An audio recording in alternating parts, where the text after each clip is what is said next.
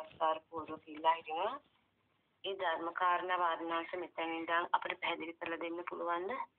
හොඳයි. ඇත්ත මේ අපේ දාක්ෂණයේ මේ අපි එදා පැහැදිලි කළා මේ සමතය තුළ සමුදය තුළ දිගටම යෑම තුළ අර අසඤ්ඤ තලයේ හිර වෙනවා කියන කාරණාව අපි එදා පැහැදිලි කරේ.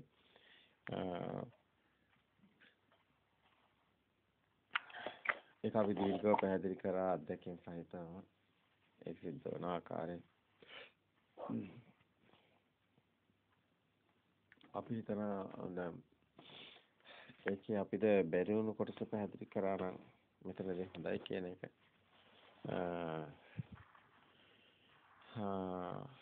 හැමෝටම ඒක zoom එකේ zoom වැඩසටහනේ මිට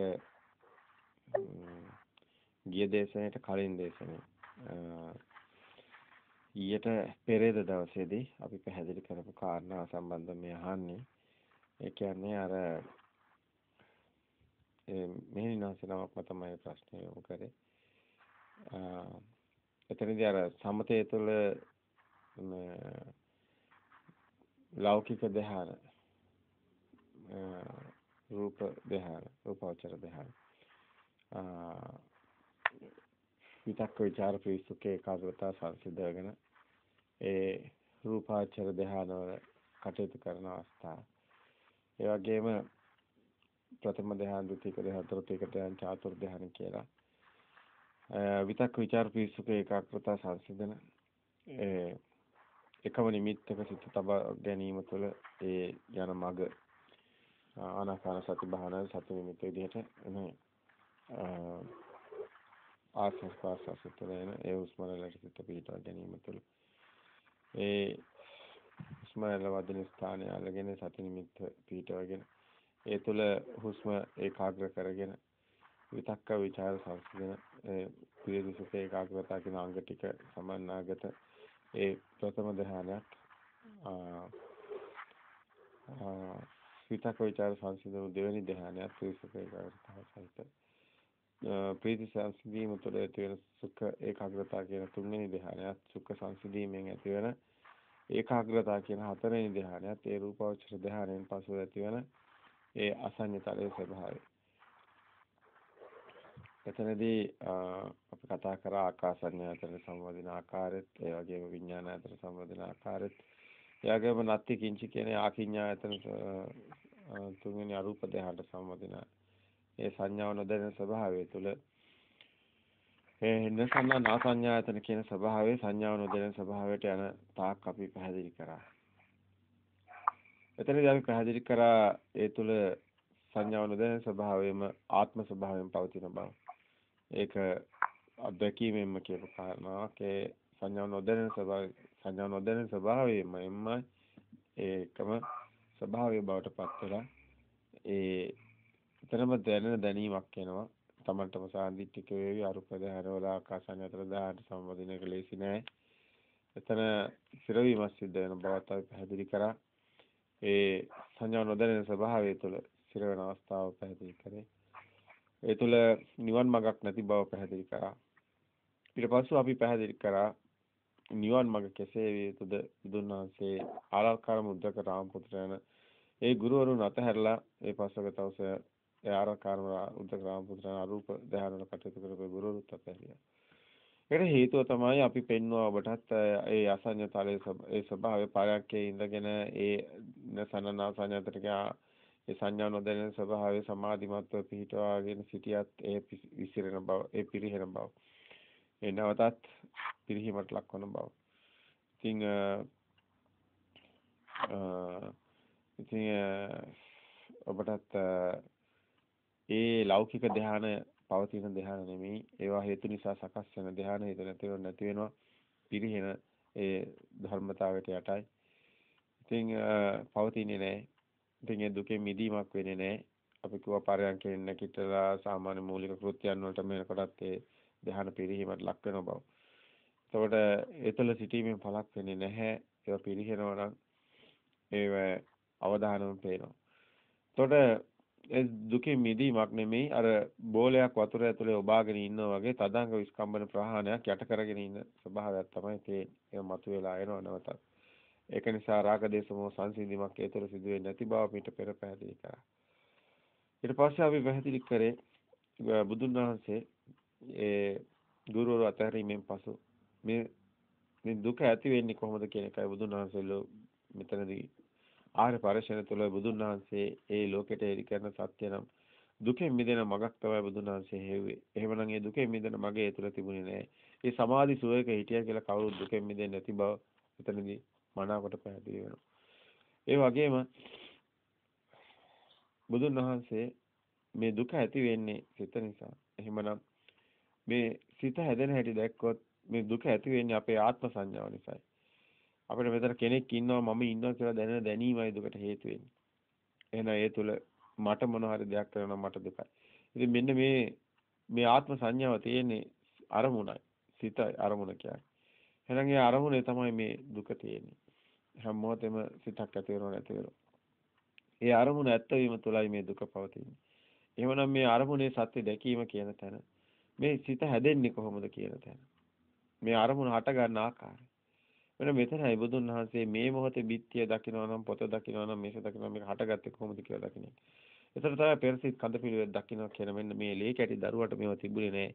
ලේ කැටි දරුවට කොහොමද මේක හටගත්තේ යන්න ශබ්ද වර්ණ වලින් අන්න එකතු වෙලා ශබ්ද වර්ණ ගන්ධ රස පහස ඒ කියන්නේ දිට්ඨ සිත මොහොත. මේව එකට සම්පටිච්ඡන්න වෙලා මේ ආරමුණු ඒ වලින් එන ප්‍රසාදවල ඒ වේගයට සකස් වෙන ප්‍රසාද අපි ඒක පෙන්නවා චක්කු ප්‍රාසාදය කියන්නේ වේගයට සකස් වෙන එකක් බව ඒ වගේම සෝත ප්‍රාසාද ගහන ප්‍රාසාද ජීව ප්‍රාසාද කාය ප්‍රාසාද කියන්නේ වේගයට සකස් වෙන එහෙනම් වේගයටයි මේ මැවෙන්නේ මැවීම. ස්කන්ධානම් පාති බව ආයතනන් කියනකොටත් මේක ස්කන්ධය කියනකොට වේදනා සංඥා සංකාර කියන සංකාර කියන්නේ වේගය නිසා මැවෙන එක. ඒකම විඥානේ දැන ගැනීම ඒක ආපු හැඩතලයි. එතකොට මෙන්න මේ ස්කන්ධ මේ ස්කන්ධානම් පාති බව. ඒ කියන්නේ මේ දැනෙන දැනීම ඇති වෙන තැන එතනයි. එතකොට චක්කු ප්‍රාසාදේ කුමක්ද කියලා නෑ. නමුත් සෝත ප්‍රාසාදයේ ශබ්දයක් විතර චක්කු ප්‍රාසාදයේ වර්ණයක් විතර මොනවද කියලා නැහැ. මේවා එකතු වීම තුළ අර දාපු ශබ්දයක් වර්ණයක් එක්ක එකතු වෙලා එීම තියෙන උණුසුම සීතල සදකගත් එක්ක මේ සේරම එකට දැනෙන ස්වභාවය. දෙයක් වගේ දැනෙන ගතිය. මේක පෙන්නවා මේකයි අජ්ජසාය තිට්ඨති ආරූපේ නන්දි. ඒ නන්දිය තණ්හා බන්ධන බලය උපාදාන. ඒ චිත්තාරෝපණය කොයි වචනේ කිව්වත් එතන දෙයක් වගේ දැනෙන ගතියක් කියන්නේ. ඒ ගතිය ශබ්ද වර්ණ වලට විතරක් නෙමෙයි ඒව එකට එකතු වෙලා එකතු වෙලා ඒකට දෙයක් වගේ දැනෙන එකක්. ඒක මන ආයතන කියලා පෙන්නනවා. ස්පර්ශයේ හේතු වෙන්නේ වේදනාවට හේතුව ස්පර්ශයයි සංඥාවට හේතුව ස්පර්ශයයි සංඛාරයට හේතුව ස්පර්ශයයි විඥාණයට හේතුව ස්පර්ශයයි. ඉතින් මේ මන ආයතන මනසන්ත පටිච්ච ධම්මේ සුප්පජ්ජ මනෝ විඥාන කියන මනසට අරමුණේ ධම්ම කියනකොට ඒ ශබ්ද වර්ණ ගන්ධ රස පහස බව අපිට පැහැදිලි කරනවා. එතකොට මෙන්න මේ තුල මේ සිත හැදෙන හැටි දැක්කොත් අන්න අර සිතේ මායාව අවබෝධ වෙනවා. ඒතර උපමාවක් විදිහට පෙන්නවා පොත දකින හිත අපි නිතරම කතා කරන්නේ. එතකොට පොත දකිනවා කියන්නේම ඒ අරමුණයි සිත කියන්නේ. එතනම පොත තියෙනවා කියන්නේම දුකක් තියෙනවා කියන එකයි. ඒ කියන්නේ එතන අගයක් වටිනාකමක් දැනන්නේ එකයි. එතකොට ඒ අරමුණේ සත්‍ය දකිනවා කියන්නේ පොත කියන්නේ සද්දයක්. ඇහැට එන්නේ වර්ණයක්. එතකොට ඒ ඒ ශබ්ද වර්ණ එකට එකට එන එක පොත කියන්නේ ශබ්දයක්. එතකොට පොතක් ආවා කියන්නේ. අපිට එන්නේ හැමතිස්සෙම පොත මේසය ඇඳ හැමතිස්සෙම ශබ්දයක්. ඒ ශබ්දයත් එක්කම අපිට නොපෙනෙන මායමේ එතනම තියෙනවා ඒ හැඩතල. අපිට ශබ්ද එනකොටම හැඩතලෙත් එක්කම එන්නේ. අපි හීනයක් දකිනකොටත් එහෙම. ඒතකොට ඒක සංඥාව මූලික කරගෙනයි තියෙන්නේ. ඒකයි කියේ ශබ්ද සංඥාවේ ශබ්ද නැහැ වර්ණ සංඥා වර්ණය ඒ කියන්නේ අපි ශබ්දයක් විදිහට මේ මොහොතේ වටපිට බලනකොට අපිට ශබ්දයක් එන්නේ නැහැ. නමුත් අපිට ඒ වටපිට බලනකොට ඒ චක්කු ප්‍රාසාදයට ඇසුනත් ඒක අපිට මේසයක් පුටුවක් කියලා දැනින්. ඒ කියන්නේ නාම රූප එකතු වෙලා. විඥානේ දැන ගැනීම මේසි පුටු කියන ධම්ම කියන එක. ඒතර ඒක හැම දැන් මේ මොහොතේ ස්පාක් වෙන්නේ එතකොට දේව විදිහට. එතකොට මයික් එක මියුට් කරමු. හොඳයි. එතකොට මෙන්න මෙතනයි මේ ආත්මයේ තියෙන දෙයක් තියෙනවා මේ මොහොතේ පොත තියනවා කියන්නේ මාත් ඉන්නවා. පොත දකින්න මම ඉන්නවා. එතකොට මෙන්න මෙතන තමයි මේකේ වටිනාම තැන තියෙන්නේ. ඒ තමයි මම කියපු තැන. ඒ තමයි මම ඒක තියෙනවා නම් මාත් ඉන්නවා කියන එක. අනිත් එකට තින්නම් සංගති පස්සෝ කියන තැන. නාම රූප පත්‍ය විඥාන. එතකොට මෙතන මේ මෙතන අර එකට එකතු වෙලා අර එන ආරම්මන වල අපි කෝ රූප ආරම්මන ඒ ශබ්ද රූප වර්ණ රූප ගන්ධ රූප රස රූප පොට්ටබ්බ රූප ඒක රූප ආරම්මන ඒ ආරම්මනේ එන දැනීම එකට එකතු වෙලා එකට දෙයක් වගේ දැනනකොට එතනමයි එතකොට අර චිත්ත ස්වභාවයක් දැන් ඒක. පටිඝ සම්පස්සේට අධිවචන සම්පස්සයක් කියනකොට. ඒක අර සේරම එකතු වෙලා එනකොටයි එන්නේ. සම්පටිච්ඡන්න වෙලා එනකොට. ඒ කියන්නේ චක්කු ප්‍රාසාද අර මේසයක් පොතක් කියනකොට શબ્දයන්නේ ඒ શબ્දයක් එන්නේ ඇහැට එන්නේ වර්ණයන් වර්ණයත් එක්කම શબ્දයක් තියෙනවා. මේ සේරම එකට එකතු වෙලා දැන් එකක්. සංඥාව. දෙයක් වගේ දැන සංඥාව. ඉක්ත භාවයක් දැනෙන එක. ඉති රූපං කියන තැන. තියනවා වගේ දැනෙන එක. එතන දැනෙන එක තමයි මෙතන සංඥාව. ඊට ආත්ම සංඥාව. එහෙම නැත්නම් තියනවා කියලා ගත්ත අර ඉච්ඡ භාවයේ දැනෙන සංඥාව. අනිත්‍ය සංඥාව කියන්නේ මේක අවබෝධ වෙනකොට මේක මේක සත්‍ය බව දැනෙන්නේ. මේක සත්‍යයක් නොවන බව දැනෙනවා. ඒකයි අනිත්‍ය සංඥාව. එතකොට මෙතරයි තියෙන්නේ මේ මහා නිදාන සූත්‍රයේ. විඥානය දැන ගැනීම දෙයක් ඒවා දැනෙන තැන. එතන නාම රූපයි කියන එක. ඒ ශබ්ද වර්ණ ගන්ධ රස පහස එකතු වෙලා තියෙනවා කියන්නේ. ඒක දෙයක් වගේ දැනෙන ගතිය ඒක තමයි විඥාන වේදනා සංඥා චේතනා පස්ස මනසකාර අයං උච්චති නාමං වදේති කිය එක. ඒ දෙයක් වගේ අර එන්නේ වේදනා සංඥා දැනෙන ගතිය. දෙයක් වගේ එන ගතිය. එතකොට ඒකේ රූපයත් එක්ක එතකොට නාම රූප එන ආරම්මණයත් එක්කයි මේක දැනෙන්නේ. ආරම්මණයටයි මේක දැනෙන ගතිය එන්නේ. ඒ නිසා තමයි මේක නාම රූප වෙන් කරන්න බෑ. ඒක ඒක නම් කරන ලද්දේ නාමය නම් කර යන්නේ සද්දේ කියලා අපි එහෙම ධර්මයේ තුල අපිට හමු වෙනවා. එතකොට සම්මුති ප්‍රඥප්ති අපි දාගෙන ඉන්න සේරම શબ્දෙන් දාගෙන තියෙනවා. ඒතකොට ඒ ඒ શબ્දෙන් දාගත්ත නිසා තමයි අර අර නාම මේ શબ્දයත් එක්කම අපිට රූපත් එනවා කියන එක සාමාන්‍ය ප්‍රායෝගිකව අත්දකින්න දෙයක්. හැබැයි අනිත් දේවලුත් මේකේ නැතුවනේ මේ තියෙනවා. ඔබ හොඳින් නිරීක්ෂණය කරොත් ඔබටම සියුම්ම දැනේ අනිත් අර සීතල උණුසුම තදගතිය පවා මේ සංඥාව ඇතුලේ ඒ සියල්ලම එකට එකතු වෙන එකක් තමයි දෙයක් වගේ දැනෙන්නේ. ඒතර ඒක තමයි මානසංච පටිච්ච ධම්මේ සුමනෝ විඥාන කියන්නේ. කියන්නේ මනසේ දැන ගැනීම බවට පත් වෙනවා. ඒතකොට අපි වර්ණයක් කියලා ගත්තත් මෙතන මේසයක් කියලා ගන්නකොට શબ્දයක් තමයි එන්නේ. ඒතකොට ඒකත් එක්කම වර්ණක් තියෙනවා. ඒතකොට ඒකම එකතු වෙලා තියෙනවා. ඒතකොට දැන ගතියකුත් තියෙනවා. ඒතකොට ඒකම තමයි මේ කතා කරන්නේ. මේක වචන ගොඩක් පාවිච්චි කරත් මේකේ දැනෙන දැනීමයි චිත්තාරෝපණය කියලා අපි කිව්වේ. ඒ දැනෙන දැනීමයි අපි කිව්වේ මේ සංඥා සංඥාවක් අපි අසුරු කරන්නේ සංඥා අபிසංකරණ. ඒක නැවත පවත්වාගෙන වේගයක් නිසා තමයි තියෙන වගේ දැනෙන්නේ ගඟ ගලනවා වගේ වැස්ස වයින්නවා වගේ මිසක වේගයක් නිසා දැනෙන ඒක නිසා තමයි රූප රූපත්‍ය සංකතං අபிසංකර දෙයක් වගේ දැනෙන එක අபிසංකරණයක් බඹරේ වගේ වේගයකින් සිද්ධ වෙනවා කියන එක.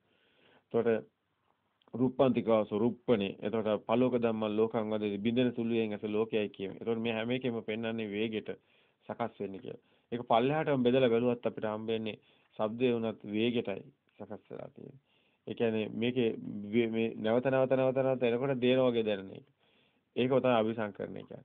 නැවත නැවත නැවත එකම ශබ්ද එනකොට ඒකක් තියෙනවා වගේ දැනෙන. ඒතර ඒ ස්වභාවයෙන් තමයි මේක නිර්මාණය වෙන්නේ. මෙතන අපි දීර්ඝ කාලයක් අපි අපි අසුරු කරන්නේ පුරුදු විදියට ඒ ඒ අපි අපි කියන්නේ ඒ සංඥා අபிසංකරණය තමයි පුරුදු කියලා කියන්නේ. ඒකට ඒ අපිට දැන් මේ මොහොතේ පුරුද්දට තමයි මේ සේරම අපි කන්නේ බත් වෙන්න පුළුවන් අපි අපි දත්ම දින විදිය කොණ්ඩේ පීන විදිය ඒ ඒ අපේ ආහාර ගන්න ඒවා ඒ හැම එකම අපේ මේ අபிසංකරණයට අහු වෙලා තියෙන්නේ. ඒවා නැවත නැවත ප්‍රපංච කරනවා. ඒවා නැවත නැවත මඤ්ඤණා කරනවා. නැවත නැවත ඒවා නැවත නැවතත් අර විපරිණ සංඥාව නැවත නැවතත් ඒ සංඥාව නවතින්නේ නැහැ. දිගටම මේක ක්‍රියේට් වෙනවා, වැඩ කරනවා. ආස්වාස ප්‍රාස්වාස වෙනකම් සිතක් ඉපද නිරුද්ධ වෙනවා කියෝ ඒක. සංඥා අපි කියවා ඝන සංඥා සුඛම වෙනවා කියලා. ඔව් මේ සත්‍ය අවබෝධය තුළයි. හැබැයි සත්‍ය අවබෝධය නැති මිත්‍යා දෘෂ්ටික භූමිය තුළ ඒ සංඥා සුඛම වෙනවා කියන එකක් දකින්න ලැබෙන්නේ නැහැ. ඝන සංඥා සුඛම වීමක් අපිට දකින්න ලැබෙන්නේ ඒ කියන්නේ දෙයක් කියලා ගත්ත නිසා අමතිස්ස පෘථග්ජන කියන්නේ මිත්‍යා දෘෂ්ටික භූමිය කියන්නේ බාහිර ඇත්ත කරගත්ත තැන. ඒ අනුසෝතේ එතන ඇත්ත කරගත්ත කෙනාට විදීමක් නැහැ. එහෙනම් සත්‍ය දකින්න තැන අජ්‍යත්ව බහිද්ද කියලා අන්ත දෙකක් හම්බෙන්නේ නැහැ. සියල්ලම එකම දැනීමක් බවට පත් වෙනවා. අනේකට කෙනෙක් පුජ්‍යලයක් නැති බව අන්න මනාකොට අවබෝධය. අර ඒ තම්මම හේසවම සමේසත් දෙයක් තියෙනවා නම් මාත් ඉන්නවා කියන තැන. මේ අපි කතා කරේ විදර්ශනා පැත්තයි. ඒ කියන්නේ ප්‍රායෝගික පැත්ත. ඒ කියන්නේ පටිච්චසමුප්පාද ධර්මයේ. දෙයක් කියලා ගත්ත එකම අවිද්‍යාව. ඒකයි වේගයටයි මැවෙන්නේ. ඒක සංකාර. ඒතකොට නාම රූප මෙතන ඒ කතාව ඇතුලේ තියෙන්නේ. ඒ ආරම්මන රූපාරම්මනයි. ඒ තුල ඇතගෙන දැනීම ටික නාමය. එතකොට ඒකම තමයි විඥානය දැන ගැනීම වෙන්නේ. නාම රූපච්ඡ විඥාන. ඒ එතරම් තමයි එතකොට ස්පර්ශයේ මේ මනසේ කතාව වෙන්නේ. දෙයක් වගේ දැන ගතිය වේගිත සකස් වෙනවා. එතකොට එතන තමයි මනසංච පටිච්ච ධම්මේ සූපජ්ජේ මනෝ විඥාන මනසට ආරම්භ ධම්ම කියලා කියනවා. ඒ කියන්නේ පොත් මේසය දන් කියන්නේ. එතකොට ඒක ස්පර්ශයෙන් එන්නේ. ඒක දෙයක් වගේ දැනෙන එක. ඒතර ආත්මෙත් එතනමයි. මම ඉන්නවා කියලා දැනෙන එක. ලෝක සංඥා තියෙන කම ලෝකෙක මමත් ඉන්නවා කියලා දැනෙන එක.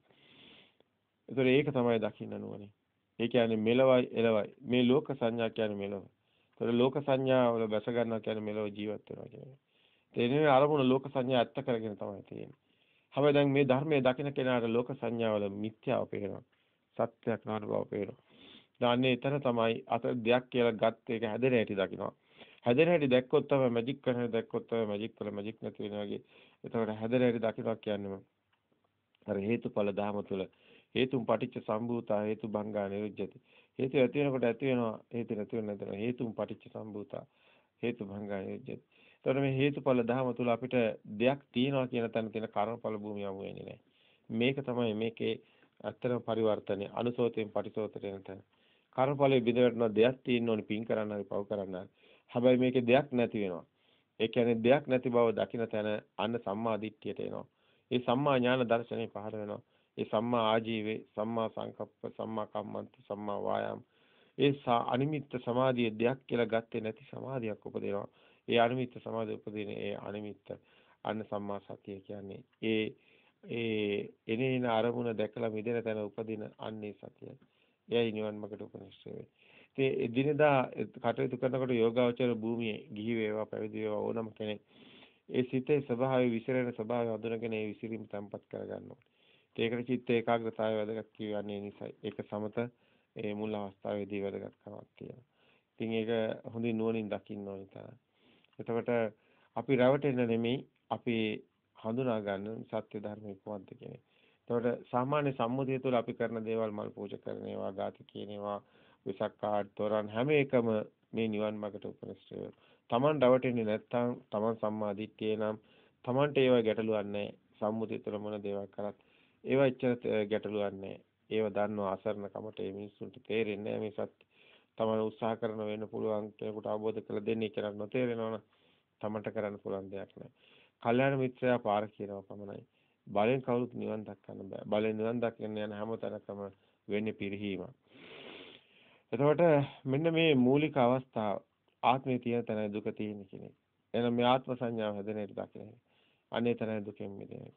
එතකොට මෙන්න මේ පැහැදිලි කිරීම ඔස්සේ මෙතන බාහිරාන්තයෙන් මිදෙන තැන සෝතාපන්න අවස්ථාවක් වෙන්නවා.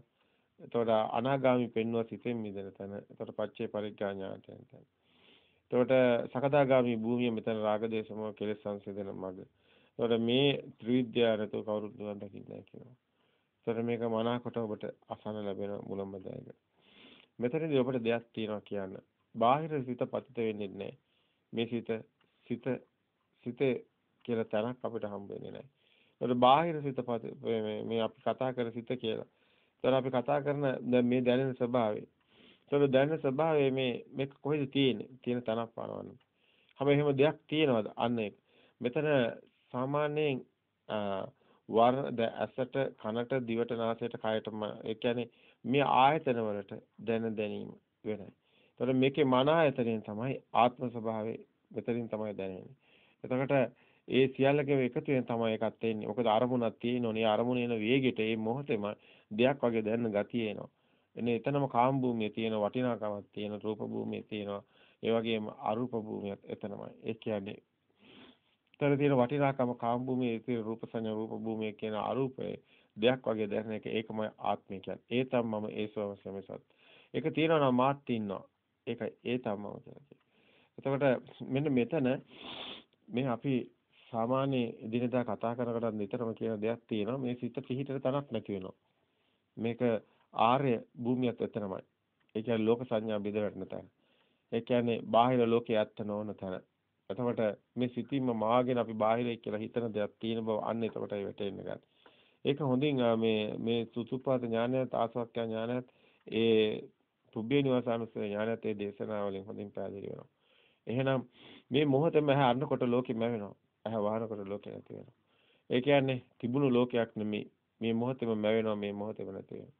හැබැයි ඒක විපරිණාමත් වෙනවා. ඒ කියන්නේ ඒක වෙනස් වෙනවා. හැබැයි ඒ කෙනාගේ ගමන ඒක. ඒ ඒ අන්න එවැනි අය මේ දහම අහනකොට ගොඩක් වෙලාට උදකලාවින් උත්සාහ කරා. ගොඩක් වෙලාට ඔය එක එක ගෝසාවන් මැද්දට ගිහිල්ලා නිකන් අනවශ්‍ය දේවල් වලට පැටලෙන්නේ නැහැ. ඉතින් භික්ෂුවගේ භූමිකාවත් මෙන්න මේ සත්‍ය අවබෝධ කරගෙන මේ සත්‍ය දුක් විඳින්නේ සිතුවිල්ල නිසා එහෙනම් ඒ මම ඉන්නවා කියලා ගත්ත ආත්ම දෘෂ්ටිය නිසා. ඉතින් ඒක ඒකත් ඇත්තටම දෘෂ්ටියක්. එහෙම දෙයක්වත් නැහැ. පොත කියලා දෙයක් හම්බෙන්නේ නැහැ. මේස කියලා දෙයක් හම්බුනම අපිට පෙන්නුවා අම්මා තාත්තා කියලා එකපවා. ඒ කියන්නේ දරුවා ඉපදෙලා ඇමරිකාවට ගෙනියන කියපු උපමා. ඒ චීනයට ගෙනියනවා කියපු උපමා. එතන ඒ දරුවා මරණකම් චාන් කියන්නේ. ඒ හැඩතලයට. ඒතකොට දරුවා ඉපදුනේ කොහෙද? අන්න ඒක තමයි. තනක් පනවන්න බෑ. මේක මහා ආශ්චර්යයක්. මේක කියනකොටත් මහා ආශ්චර්යයක්. ඇත්තට මේ කාරණාව ඉතාම වැදගත්. හැමෝම මේ දැස්සරින්න ඕන කාලයක්. දෘෂ්ටි වල ඉන්නේ ගොඩක් වෙලාවට සම්මුතිය තුළ තියෙන කාරණාවට හිර වෙලා. නමුත් ඒ සත්‍ය අවබෝධ වෙනකොට ඔබ ඒ දෘෂ්ටි සේරව කුඩු වෙලා යනවා. ඔබ ඒ සත්‍යම දකිනවා. ඒ සත්‍ය හරි ගැඹීරයි. ඒ සත්‍යයට එහා සත්‍යයක් අපිට මෙලොව තුන් ලෝකෙම හමුවන්නේ නැහැ. ඒකට අපි මොනවද කරන්න ඕනේ? අපි කරන්න ඕනේ දෙයක් අපේ හිත දිහා සීනුවණින් බැලීම පමණයි. ඇත්තටම මේ සිතේ සත්‍ය දකින තැන සිත බල ගැන්වෙන්නේ නැහැ කියන්නේ සිත සිතින් මිදෙනවා. ඒ සිත සිතින් මිදෙන තැන තමයි මට මම නැති වෙන හැටි කියලා අපි දන්නේ. ඒ සිතට පරවන්න බෑ. දෙයක් පනවන්න බෑ. ඒ සිතේ තියෙන චේත විමුක්තිය. ඉතින් ඒ ස්වභාවය තුළ ඔබ මේ ධම්මග ඔබ මේ මේ මාර්ගය තුළ කටයුතු කරන්න. එතකොට මේ සිත පිහිටන තැන නැති වෙනවා. මේ එන අරමුණේ තමයි සිත කියන්නේ. අරමුණ බැස ගන්න නැහැ කියලා අපි කිව්වා. එහෙනම් මේ විදර්ශනා සමාධිය තුළ අපි පෙන්වා මේ සෝවන් ඵලයටපත් වෙන ආකාරයේ අනුසෝතයෙන් පටිසෝතයට එන එන චිත්ත කම්පන ඒවත් පවා අපි පෙන්වනවා. ඒ හැමෝටම නොවෙන්න පුළුවන්. ඒ ඒ කෙන කෙනාට කෙන කෙනාගේ ස්වභාවයට තමයි ඒ ස්වභාව මතුවේ. හැබැයි මෙතන අවබෝධයක් තුළින් යන මේ මග ඒ සංකිතේ නිබ්බිදාය ඒ කියන්නේ නිවන කියන්නේ මේ අවබෝධය තුළින් යන මග. ඒ තුළ ඔබ අනිවාර්යයෙන්ම නිවනින්ම සැනසීම ලබනවා. ඒකට හේතුව මේ මෙතන මායාව ඔබ අවබෝධ කරනවා. මායාව අවබෝධ කරනවා කියන්නේ ඔබ සත්‍යයට අවදි වෙනවා. සත්‍යයට අවදි වෙනවා කියන්නේ ඔබ කොයි මොහොතේ හුස්ම ගියත් ඒනේ සත්‍යය. ඒ සත්‍ය තුළ දෙයක් හම්බ වෙන්නේ නැහැ. අතර මේ කතාවේ දෙයක් නැතුවයි. දෙයක් කියලා දෙයක් නොදැනෙන ස්වභාවය තුළ ඔබට කම්පණයකුත් නැහැ. එන්න චේතෝ විමුක්තියට ඔබපත් වෙලා. හැබැයි වෙනද විදිහටම පේනවා. බැලුවොත් කතාත් කරනවා, ඇහෙනවා, දැනෙනවා හැමදේම. දැනුම නැතිලත් නෑ දැනුමක් තියෙනවා. සාමාන්‍ය විදිහටම වැඩ කරනවා. හැබැයි සාමාන්‍ය විදිහට ඔබ ගිහි වෙන්න පුළුවන්. ඔබ පැවිදි වෙන්න පුළුවන්. සාමාන්‍ය එදිනෙදා අර තමන්ගේම අභ්‍යන්තරයට 100ක් අවදි වෙලා තියෙනවා කියන්නේ ඒක පුදුමාකාර ස්වභාවයක්. ඒකමයි මහා දියුණුව. ඒකමයි සම්මා සතිය. ඒ සම්මා දිට්ඨිය තුළින් උපදින්නේ සම්මා ඒ වායම තුළයි ඒ උපදින්නේ. සම්මා දිට්ඨි, සම්මා වාචා, සම්මා කම්මන්ත, සම්මා සංකප්ප, සම්මා ආජීව, සම්මා වායාම, සම්මා සති. එතකොට මේ සම්මා සති ඒ අනිමිත්ත සමාධිය ගැන කතා කරා. එතකොට ඒ සමාධිය තුලත් ඔබ දකින්න විහරණයක් තියෙනවා. රාග දේශ මොහ කෙලෙස් සබ්බූපදී පටිනිස්සග්ගෝ කියන අන්න උපදි ගොඩ. උපාදාන වෙනවා දවස් ගානේ උපදින වෙන ගොඩ සබ්බූපදී පටිනිස්සග්ගෝ. එතකොට ඒ උපදි ගොඩත් අතහැරලා යනවා. ඒ උපාදාන වුණු ඒ දීර්ඝ කාලයක් තිස්සේ අපි කොහොම මේ සිත කියන්නේ පුරුද්දට යන එකක්. ඔබ ඔය කටයුතු කරන්නේ පුරුද්දට. ඔබ යමක්ද කරන්නේ පුරුද්දක් තුලයි තියෙන්නේ. ඒ කෙන කෙනාට වෙනස් වෙනවා. ඒ පුරුද්ද තිබ්බකයට ඒ පුරුද්ද තුල ආත්මයක් තියෙනවද නැහැ. ඒ හුරුවට පුරුද්දට ඒ කියන්නේ සංඛාරා. ඒ කියන්නේ එහෙම සිද්ධ වුණාට එතන ආත්මයක් පනවන්න බෑ. ඒ කියන්නේ පුරුද්දට ඔබ දත්මදින්නේ පුරුද්දට ඇවිදින්නේ සමහරට කකුල දිහා බලන්නෙත් නැහැ. ඔබ ඒ කරන කටයුතු ක්‍රියාසිතක් බවට පත් වෙනවා. අර ප්‍රභාස්වර සිත අවදි වෙනවා. ඔබ ඒවට දාලා තියෙන නාම රූප ටික අන්න මැකෙනකොට. නාම රූප වලට බල ගැන්වෙන්නේ නැහැ කියන්නේ නාම රූප එතනදී ඉස්මතු වෙන්නේ නැහැ. එහෙනම් වෙන විදිහටම පේනවා, පේන, ඇහෙනවා, දැනෙනවා උනාට පොත මේස අද කියලා දෙයක් හම්බ වෙන්නේ නැහැ. ඒ කියන්නේ පොත දකින්නවා, දකින්න නැතුව නෙමෙයි. ශබ්දේ ඇහෙනවා, ඇහෙන්න නැතුවත් නෙමෙයි. ගන්ධය දැනෙනවා, දිව දැනෙනවා, සම්මාන ස්කන්ධ මට්ටම පවතිනවා. හැබැයි ඒකත් එක්කලා දෙයක් කරගෙන අර ඒකත් එක්ක එන චන්ද රාගේ අන්න ඒකයි දුර වෙන්නේ. ඒකයි චන්ද රාගේ දුර වෙන්නේ. ඒ කියන්නේ මේ අපි දන්නවා රස පටිසංවේදී. රස රාගන පටිසංවේදී. රස කිව්වම අපි දන්නවා දිවට දැනෙන සාමාන්‍ය ස්වභාවය. හැබැයි ඒක ඊට පස්සේ අන්නාසි රස උනේ කොහොමද? එහෙනම් අන්නාසි කියලා දෙයක් හම්බෙන්නේ නැහැ. අන්න එතනයි ඒකට අන්නාසි කියලා දෙයකට තියෙනවා නම් යම්කිසි ඇලීමක් ආ මේ අන්නාසි තව ඕනි තව කන්න ඕනි කියලා අන්න ඒක දුර වෙනවා. ඒක නැතුවම බෑ කියන ගින්න නිවෙනවා. අන්නේ ඒකයි මෙතන රාග දේශමෝ කෙලෙස් සංසිඳන මග කිව්වේ. ඒ කියන්නේ අවිද්‍යාව තියාගෙන රාග දේශමෝ කෙලෙස් සංසිඳන කෙනා වෙන්නේ නැහැ. ඒ අවිද්‍යාව අශේෂ විරාග නිරෝධෝ කියන නිවන් මඟ සංයෝජන වලත් අපිට හමු වෙනවා. ඒ වගේම මුළු සම්පූර්ණ පටිච්චසමුපාද තුළ තියෙන විනය්‍ය ලෝකේ ලෝකේ සත්‍ය දැකලා මිදෙන්න. විනය්‍ය ලෝකේ අවිද්‍යාව දෝමනස්සාන කාය කායानुපස්සී විහෙරති. විනය්‍ය ලෝකේ අවිද්‍යාව දෝමනස්ස. ඒ කියන්නේ දුක්ඛ දෝමනස්ස. ඒ ශෝක පරිදේව. ඇත්තටම මේ ලෝකයක් මේ නැති බව දකින තැන වේදනාවට හිමිකාරයක් ඉන්නවද? දෙයක් තිබ්බොත් ඔබත් ඉන්නවා ආත්මෙත් තියෙනවා හිමිකාරයකුත් තියෙනවා. දෙයක් නැත්තම් ඔබත් නැහැ ආත්මිකුත් නැහැ හිමිකාරයකුත් නැහැ. මේක මේ අරමුණේ දකින්න. අරමුණේ ඔබ එතකොට නිවන් දකිනවා. අරමුණ දෙයක් කරගත්තොත් ඒ අරමුණ එතරම් ඔබ ඉපදෙන්නේ. එතරම්යි ඔබ ඉපදෙන්නේ. දෙයක් කියලා දැනෙන දැනීමමයි ඉපත. ඒ නිසා බුදුන් වහන්සේ කිව්වේ මහණෙනි ඇසේ උපත උපත කියලා. සලායතන ලෝකෝ ලෝකෝ කිව්වේ අසකන දිවනාසයට කයමන්ට මැවෙන ලෝකයක්. ඒවා එළිය තියෙන එකක් නෙවෙයි. ඉතින් මේ ආශ්චර්යමත් ධර්මයේ නැවතත් ඉස්සරහට එනවා. ඉතින් මේ අවබෝධය තුළින්මයි මේ පැහැදිලි කරන්නේ. අපි දන්නවා අපේ සත්සුදක්සේ විශාල පරාසයක් මෙහෙම අපි මෙනෙහි කළා ඒ තුළ අපිට අවබෝධයක් තියෙනවා. නමුත් අපි නිට්ඨාවට අරගෙන ඔබට පහසු වෙන්න මේක එක වචනෙන් කියන. ඒක ඊටා වැදගත්. ඔබ ඒ තුළ ලබන සහැල්ලුවක් සැනසීමක්. ඒ ඒයි නිර්වාණ අත්දැකීම. ඒ නිවන් දකිනවා ඔබ. ඔබට ඒ ඒ සුදුසු ස්වභාවය තියෙනවා නම් ඔබට ඒ අත්දකින්න ලැබෙනවා නම් ඔබ නිහඬ නම් ඔබේ විතක්ක ਵਿਚාර සංසිඳිලා නම් ඔබ අනවශ්‍ය විදිහට විසිරෙන දේවල් පස්සේ දුවන්නේ නැත්නම් ඔබේ සිත ආයතන හයම ඔබ ඔබ විමුක්තියකටපත් වෙලා නම් චේතෝ විමුක්තියටපත් වෙලා නම් සත්‍ය දකින්නවා අන්න ඒ කෙනාට මේ හතර ඉරියව්ව මේ මැවෙනවා හතර ඉරියව්ම ස්වභාවයක් මතුවෙනවා අභ්‍යන්තරේ ඒ ස්වභාවය කිසි කෙනෙකුට කියාගන්න බැරි එකක්. හැබැයි රාග දේශ මොහ කෙලෙස් සංසිඳන ඒ ස්වභාවයට අසු වෙනවා. ඒ ස්වභාවයට අසු වෙනවා යන මඟ නිවැරදි කියන එක. ගුරුවරයෙක් අවශ්‍යම වෙන්නේ නැහැ. ඒ කියන්නේ එතනදී නම් ධර්මයට වෙන්න පුළුවන්. ඔබ ධර්මයේ හොඳින් අසා දැනගත්ත ඒකට ගුරුවරයෙක් අවශ්‍යයි. හැබැයි ප්‍රතිපදාව තුළ කටයුතු කරනකොට Tamanට Taman සාන්දිටික වෙන්න. එන සාන්දිටික අකාලික ඒපස්සික ඕපනයක පච්චුප්පන්න ධර්මයේ තුළ මෙතන තමන්ගේම අත්දැකීම් තමන් තමන් දිහාම සිය පවත්වා ගන්නවා. ඒ කියන්නේ ටෝච් එක එළියට ගහනකොට පේන්නේ ආසර ගෙනුවට. හැබැයි ඒක තමන්ගේ පැත්තට ගෙවුවොත් අන්න නාභිගත වෙනවා. එතකොට තමන් පේන. තමන්ගේ හිත කොයි වෙලාවෙ කොතනද තියෙන්නේ? එතනයි ආත්මය තියෙන්නේ. එන ඒක දැකිනවා කියන්නේම එතන ධර්මයේ මෙනෙහි වෙනවා නම් එතන ආත්මයක් නැති බව මෙනෙහි වෙලා. ඒ ගින්න නැතුව ඒ දේම ඔබට කරන්න හැකියාව ලැබෙනවා. ගින්න නැතුව ඒ දේම කරන්න හැකියාව ලැබෙනවා කියන එක මහා ආශ්චර්යයක්. ඒක තමයි වටිනාම කාරණා. දැන් අපි බලමු එදා අපිට නවත්වපු තැන. අපි මේ පැහැදිලි කරේ ඒ කතාවේ සාරාංශයක් විදිහටයි. එතකොට අපි කිව්වා මෙතනදී ලෞකික සමාධි පිරිහෙනවා. හැබැයි ලෝකෝත්තර සමාධි පිරෙන්නේ නැහැ. ඒක ඔබට තේරෙනවා. මොකද මේක අවබෝධයෙන් ලබන්නේ. බාහිර දෙයක් නැහැ කියලා ඔබට අවබෝධ වෙනවා. ඒ අවබෝධ වෙන්නේ කණ්ණාඩියේ දෙයක් නැහැ. එතකොට ඔබ ඊට පස්සේ බාහිර දේවල් හොයන්නේ. ඇයි? එහෙම දෙයක් හම්බෙන්නේ හැබැයි ශබ්ද දැනෙන්නේ නැද්ද දැනෙනවා. පේන්නේ නැද්ද පේනවා. ඇහෙන්නේ නැද්ද ඇහෙනවා. හැබැයි එකකටවත් වටිනාකමක් දැනෙන්නේ නැති ස්වභාවයක් වෙනවා. අන්නේ ස්වභාවය ප්‍රභාස්වර ස්වභාවය මතුවේ. අර චූර්ණ වෙන ගතිය අර නාම රූප වලින් ශබ්ද වර්ණ වලින් පෙන්නලා දීපු එක. සංඥා අபிසංකරණය.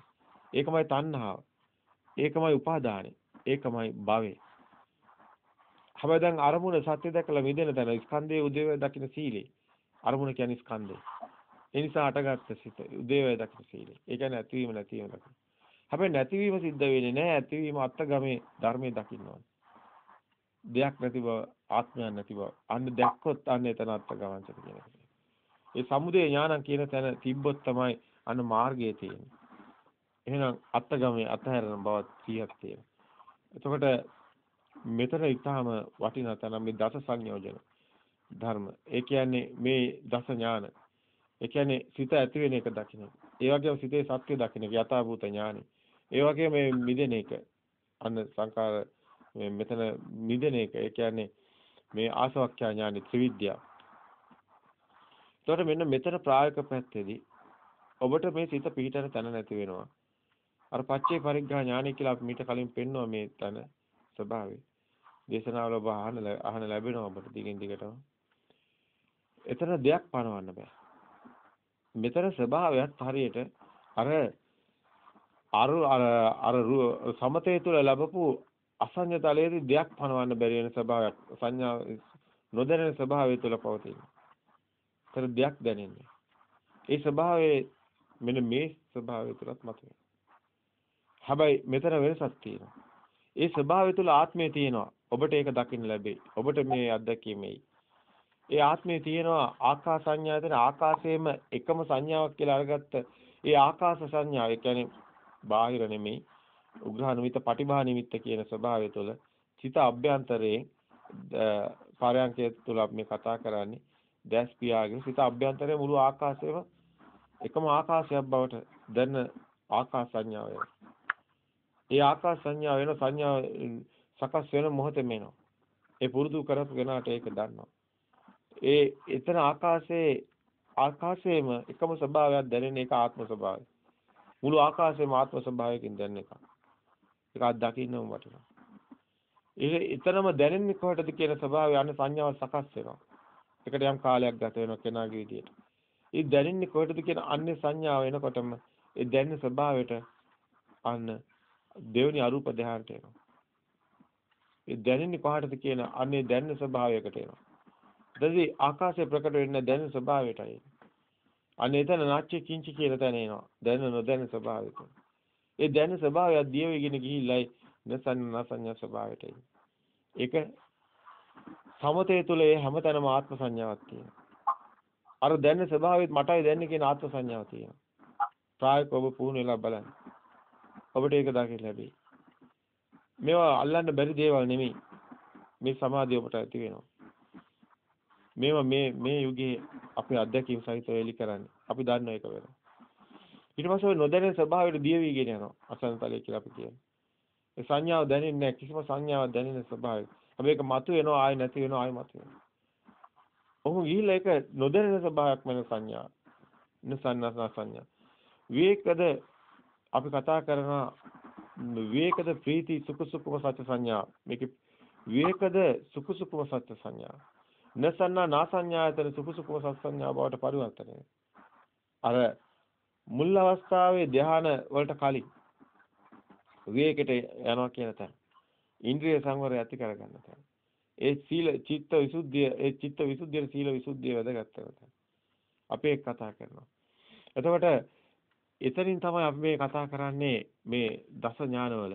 එතකොට ඒ විසුද්ධි මාර්ගයේ අපේ බුද්ධ ഘോഷාමුදුරපවා මේ මේක ඒ ප්‍රකාශ කරන වචන වලින් ඔබට දකින්න ලැබෙනවා. එතන බුද්ධ ඝෝෂාමුදුර ගොඩක් අපි දන්නවා සමතේ පැත්තටයි බර. මොකද වේදේ තමයි බුද්ධක සාමදුර පස්සේ කාලෙකනේ ඉන්දියාවෙන් ගේන්නේ. අපිට කතා වස්තු තුල අසන්න ලැබෙනවනේ. විදුව බුද්ධක සාමදුර කෝවිලක පූසාරි කෙනෙක්ගේ කටයුතු කළා තියෙන්නේ. එතකොට පාඨාංජලි තමයි බුද්ධක සාමදුරන්ගේ ඒ මූලික ඒ අධ්‍යයීම තියෙන්නේ. ඒ Hindu අධ්‍යයීම. පස්සේ කාලෙක පැවිදි වෙලා මේ pāli දන්න නිසා මේ පරිවර්තන කරන්න උත්සාහ කරාට අර අර දෘෂ්ටිය තුල ඉඳගෙන ඒ සේවල් සිද්ධ වෙන්නේ. ඒ නිසා තමයි මේ හැමතැනම සමතය කියලා පෙන්වන්නේ Hindu ආගමේ තියෙන එකමයි. ඒක බුදුන් වහන්සේ දේශනා කරපු ඒ විදර්ශනා සමාධිය නෙමෙයි.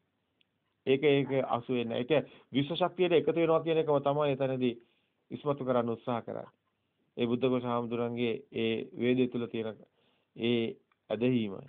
ඔකට හේතු වෙලා තියෙන කියලා අපිට වැටහෙනවා. හැබැයි එතනදී බුද්ධඝෝෂ හාමුදුරුවෝ පෙන්නනවා සීල විසුද්ධිය, ඒ සීල විසුද්ධිය ඒ චිත්ත විසුද්ධියට හේතු වෙනවා චිත්ත විසුද්ධිය දිට්ඨි විසුද්ධියට හේතු වෙනවා දිට්ඨි විසුද්ධිය කාංකා විතරම විසුද්ධියට හේතු වෙනවා. ඒ සංකා විතර විසුද්ධිය ඒ කියන්නේ සක සංකා දුර වෙන තැන අන්න මග්ගා මග්ග ඥාන දර්ශන විසුද්ධියට ඇති වෙනවා. ඒ මග්ගා මග්ග ඥාන දර්ශන විසුද්ධිය පටිපදා ඥාන දර්ශන විසුද්ධිය කියන්නේ මාර්ගඵල අපි මේ කතා කරන්නේ මේ එතකොට පටිපදා ඥාන දර්ශන විසුද්ධිය කියලා. එතකොට පටිපදා ඥාන දර්ශන විසුද්ධිය කියන්නේ අපි මේ මේ දස ඥාන වලටයි. ඇත්තටම කිව්වොත් උද්‍යව ඥාන ඒ ඒ බය ඥාන බයතුපට්ඨා ඥාන උඤ්ඤිත කම්මිතා ඥාන ආදීනවන් පස්ස ඥාන ඒ පටිසංකා ඥාන ඒ සංකාර උපේක්ෂා ඥාන කියන දස ඥාන වලටයි ඒ පටිපදා ඥාන දර්ශන විසුද්ධියට එනවා කියන තැන බුද්ධෝග සාමුදුරෝ ඒ විදිහට පෙන්නනවා. මේ මේ මේ බුදුන් වහන්සේම දේශනා කරලා තියෙන මේ ධර්මස්කන්ධය තුළ පැහැදිලි කරන කාරණා. අනේ පටිපදා ඥාන දර්ශන විසුද්ධිය තුලින් ඥාන දර්ශනයටපත් වෙනවා කියලා ඥාන දර්ශන විසුද්ධිය කියලා කියන්නේ ඇත්තටම ලෝකෝත්තර ඒ ඵලසිත. ඒ ඥාන දර්ශන විසුද්ධිය කියන්නේ අපි දන්න සෝතාපන්නත් ඒ ඵලසිතක්. එතකොට අනාගාමි එදින මාර්ගසිතේ තියෙන්නේ බාහිර දෙයක් තියනවද නැද්ද කියන එක අර දැන ස්වභාවය, නොදැන ස්වභාවය. ඒ මෙනෙහි කිරීම තුළ අරමුණු බැස ගන්නවා බාහිරට. නමුත් ඒක දකින්නකොට බාහිරින් මිදෙනවා. අනේ මෙනෙහි කිරීම තුළ ඇති වෙන විමුක්තිය, චේතෝ විමුක්තිය, ඒ තුළ ඇති වෙන අනේ ස්වභාවය. ඒ ස්වභාවය තමයි එතකොට මේ මේ මාර්ගසිත අපි කතා කරන්නේ සමතය තුළ නෙමෙයි විදර්ශනාව තුළ. ඒ මාර්ගසිත ගැන. එතකොට සෝතාපන්න මාර්ගසිතේ ස්වභාවය. එතකොට ඒ ඒ ඒක මෙනෙහි කිරීම තුළ ඒ අරමුණ බාහිරට බැසගත්තට නැවතත් ඒක සිහියට අසු වෙනවා යෝනිසෝ මනසිකාරයට අසුන එක මෙනෙහි වෙනවා මෙනෙහි වෙනකොට ඒක නැවතත් අන්න බැස ගන්න එකෙන් මිදෙනවා හැබැයි මේක නැවත නැවතත් සිද්ධ වෙනවා දිය වේගෙන යන ටික ටික. ඒක තමයි අසවක්ඛ්‍ය ඥානෙට හේතුව. ඒ කියන්නේ අபிසංකරණ නිසා බල ගැනීම නිසා නැවත නැවත ආවට ඒකේ වටිනාකම දිය වේගෙන යනවා. ඒක පවතින්නේ නැහැ මොකද ධර්මයේ මෙනෙහි වෙනවා. ඒක තුළ ඒක දිය වේගෙන යනවා. එතකොට මේ තුල තමයි එතකොට බාහිර අධ්‍යයක් නැහැ. එතකොට පොතක දැන් සිතෙත් නැති තැන. එතනක් තියෙනවා මාර්ගසිත ඒ කියන්නේ මෙනෙහි කිරීම තුළ. හැබැයි සාමාන්‍ය මෙනෙහි කිරීමකින් තොරව නිකම්ම ඒ තමන් විවේකයෙන් කටයුතු කරන එහෙම නැත්නම් තමන් මේ මෙනෙහි මේ මානසිකාරෝති කියන තැනින් තමන් නිදහස් වෙලා ඒ ඉන්න මොහොතට තමයි ඇත්තටම අර මෙනෙහි කිරීම නැති නිසාම નિરાයාසයෙන්ම තියෙන ස්වභාවය මතුවීමක් තමයි අවිතක්ක අවිචාර සමාධියේ ස්වභාවය. ඒ ස්වභාවයම ඒ තමන්ගේ දියුණුව තුළයි ඒ ස්වභාව මතුවේ. ඒ සෝවාන් සකදාගාමි අනාගාමි සකදාගාමි කියන්නේ ඇලෙන ගැටෙන ස්වභාවය දියව කියන ස්වභාවය තියෙන භූමිය. එතනත් මිදීමක් අපිට දැනෙනවා. ඒ මිදීම නිසාම තමයි අනාගාමී භූමිය මතුවෙන්නේ. ඒ කියන්නේ සෝතාපන්න කෙනා බාහිරත් නෙමෙයි කියලා දකින්න නමුත් අතරම අල්ලන ගැටෙන ස්වභාවයේ එතන කාමරාග පටික තියෙනවා. බාහිර දෙයක් නැති බව දැනුණාට ඒක සිතේ තියෙනකන් අපි කව කාමරාග පටික තියෙනවා. අයි මේක බාහිර නෑ ඒනට හිතේ තියෙනවා. හැබැයි හිතෙත් එහෙම දෙයක් නෑ කියලා දකින තැන අනාගාමී භූමියට එනවා. අනේ එතනක් තියෙනවා මේ අරමුණ එතකොට බාහිරත් නැහැ සිතෙත් නැහැ කියන තැන අරමුණ බැස ගන්න නැහැ කොහෙවත්. අරමුණ බල ගැන්වෙන්නේ නැහැ. ඒක සාමාන්‍ය වෙන විදිහටම පේනවා, ඇහෙනවා, දැනෙනවා. දැනුම තියෙනවා, දන්නවා, වැඩක් කරනවා. ඔය ගිහි කෙනෙක් නම් ඒ ගිහි ජීවිතය තුළ රැකියා කටයුතු ඒ සාමාන්‍ය විදිහට කරනවා. ගටිකාර අනාගාමි අර මැටි කර්මාන්තයේ යෙදුණා. ඉතින් ඒ අංගන්ද දෙමාපියෝ බලාගත්තා. ඒතකොට මේ සාමාන්‍ය අනාගාමි කියන්නේ මේ නොදැන මේ මේ අවබෝධයෙන් මිදිලා තියෙන සංකිතේ නිබ්බිදා. සාමාන්‍ය මේ හැම දෙයක්ම පේනවා ඇහෙනවා දැනුණාට ඒ කිසිම දෙයක් ඒ කිසිම දෙයක් කරගෙන නැහැ. හරයක් නැති බව දැකලා ඒකට කරා. ඒක ලෝකෝත්තර විදර්ශනා සමාධිය වල. ඒ බාහිර ඇත්ත නෙමෙයි කියලා දකින තැන තමයි පේන්නේ ඒකයි සෝතාපන්න ඵල අවස්ථාව. ඒක මෙනෙහි කිරීමෙන් තොරවයි එන්නේ. සවිතක්ක සවිචාර සමාධියන්නේ. ඒක ප්‍රායෝගික පැත්තෙන් අපි මේ පැහැදිලි කරන්නේ. ඒ ඒ ප්‍රායෝගිකව මේක දකින්න ලැබෙන දෙයක්. අත්දකින්න ලැබෙන දෙයක්. එතකොට මෙන්න මේ කියන තැන අපි කිව්වා මේ සමතේ තුල ඒ සමතේ තුල අපි කාරණා පැහැදිලි කරේ ඒ නොදැනෙන ස්වභාවයේ මතුවෙන ස්වභාවය. එතන පරයන්කේ ස්වභාවයක්. එතන අපෙන්නවා ඒ පරයන්කේ ඒ අසඤ්ඤත ඒ සංඥා ආකාසඤ්ඤායතන ස්වභාවය පත්වන ආකාරය. ඒ වගේම මෙතන අපි ඔබට දැන් විදර්ශනා සමාධියට එනකොට මේ පටිච්චසමුප්පාද ධර්මයේ අවබෝධය තුලත් මේ මිදෙන ස්වභාවය මතුවෙනවා. ඒක අපි පැහැදිලි කරා. ඒ පටිච්චසමුප්පාද ධර්මයේ තුලත් මේ මිදෙන ස්වභාවය මතුවෙනවා. ඒ මිදෙන ස්වභාවයේ මෙතනදී අර සමතය තුල අර අපි ගිය අර ආකාසඤ්ඤායතන ස්වභාවයේ සංඥා නොදැනෙන ස්වභාවය වුණාට ඒ ඒ සමතය තුල යන ගමන තුල එතන ඒ නොදැනෙන ස්වභාවයම ආත්ම ස්වභාවයකින් පවතිනවා. ආත්මේ නැති වෙලා නැහැ. ඒ නිසාම තමයි ඒක පිරිනකොට නැවතත් අර රාග දේශ මොහ කෙලෙස් අපිට අනේ කෙලෙස් නැති වෙලා නැහැ. කෙලෙස් පවතින. එතකොට මේ අපි අරූප ධානයේ හිටියත් අරූප ධානත් පිරිනනවා.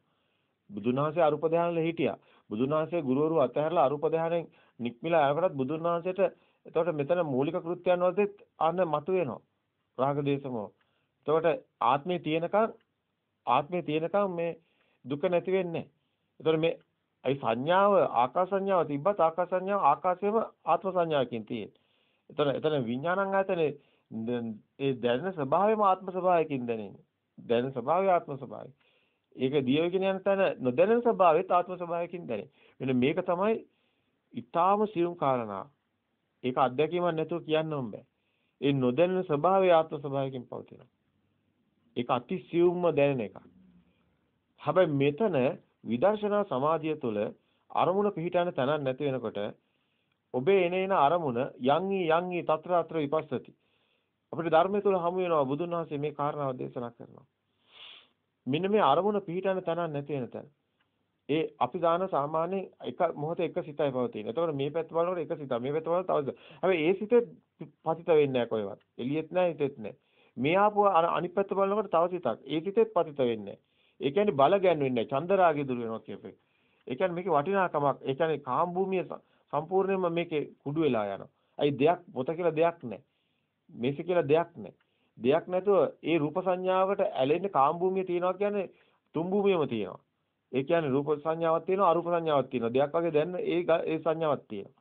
හැබැයි කාම භූමියේ වටිනාකම මේක නැති වෙනවා මෙතන මොකද සබ්දය වර්ණය කියලා දැනනකොට. ඒ වටිනාකම නැති වෙනවා. ඒකට කාම භූමියෙන් මිදෙනවා. එතකොට කාම භූමිය අපි දන්නවා සදෙව් ලෝකේ මනුස්ස ලෝකේ සතර අපාය. මේ හේතු නැති වෙනවා උපදී. එතකොට ඒ එතකොට මෙතරම තියෙනවා සුගති පරායන වීම. අයි නහි ජාතු ගබ්බසෙයිම් පොන්රේද.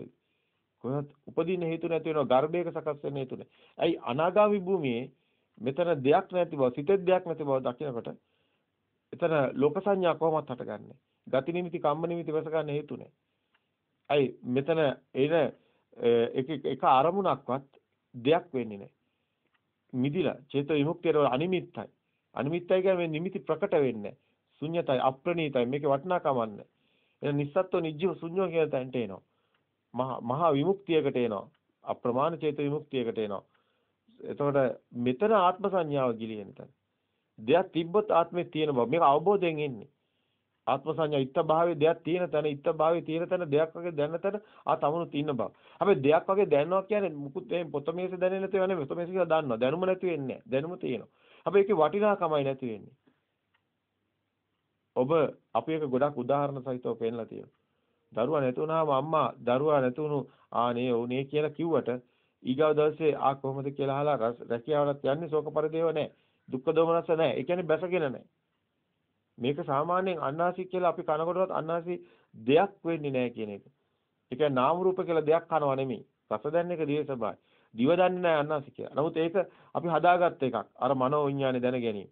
අන්නාසි කියලා. ඒතර අන්නාසි කනවා කියලා දෙයක් නැහැ. අන්න එතන අන්නාසි කනවා. ඒ කියන්නේ සාමාන්‍ය සාමාන්‍ය සම්මුතිය තුළ ඒ කන වැඩ කරන එක. රහතන් වහන්සේ මෙලවත් මිදිලා එලවත් මිදිලා දෙලොව මිදිලා සමවාසය කරනවා කියන්නේ.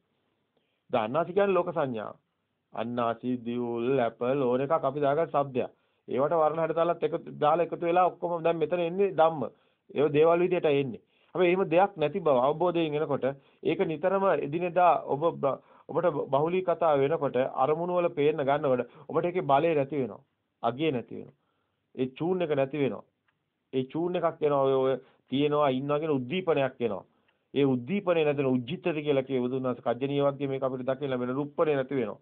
ඒකට රුප්පනේ වෙන එක නැති වෙනවා. ඒක එතකොට අගයක් නැති වෙනවා කියන එකමයි මේ වචන ගොඩකින් පැහැදිලි කරන්නේ. මෙතන අගයයි වටිනාකමයි නැති වෙන්නේ කාම භූමියේ. එතකොට එතනම රූප සංඥාව දෙයක් කියලා ගත්ත අන්නේ රූප සංඥාවත් එතන නැති වෙනවා. එහෙම දෙයක් හම්බ වෙන්නේ නැහැ.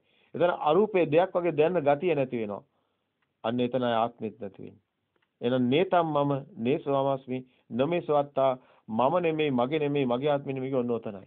ඒතර දෙයක් කියලා දැනෙන්නේ ඒතර මේක අර අර අසඤ්ඤ ස්වභාවයමයි. ඒ කියන්නේ නසන්න නාසඤ්ඤා කියන සුකුම ස්වභාවය මෙතනත් වෙනවා සුකුම ස්වභාවයක්. මේක ඒ පැත්තේ අපිට අත්දැකීම් තියෙන එතන ආත්මේ තියෙනවා කියලා. ඒතර මේ පැත්තේ අපිට මේ මේ අත්දැකීම් එනවා මෙතන ආත්ම සංඥාව නැහැ. මෙන්න මේකයි වෙනස.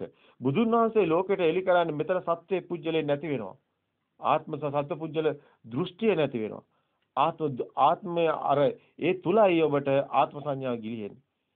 අන්නේ ආත්ම සංඥාව ගිලිහෙන තැන ඔබට උත්පත්තියක් ඔයවත් පනවන්න බෑ. එතන ඔබ නිවන් දකින්න තැන. හැබැයි ආත්ම සංඥාව ගිලිහුණාට අර මේක අபிසංකරණය කරයි මේ ආත්ම සංඥාව සකස් වෙලා තියෙනවා කියන සංඥා. ඔබට තියෙනා වගේ දැනෙන දැනීමමයි ආත්ම ආත්මීය දැනීම. ඔබ ඔබ බලන්න ආත්මේ කොහෙද තියෙන්නේ?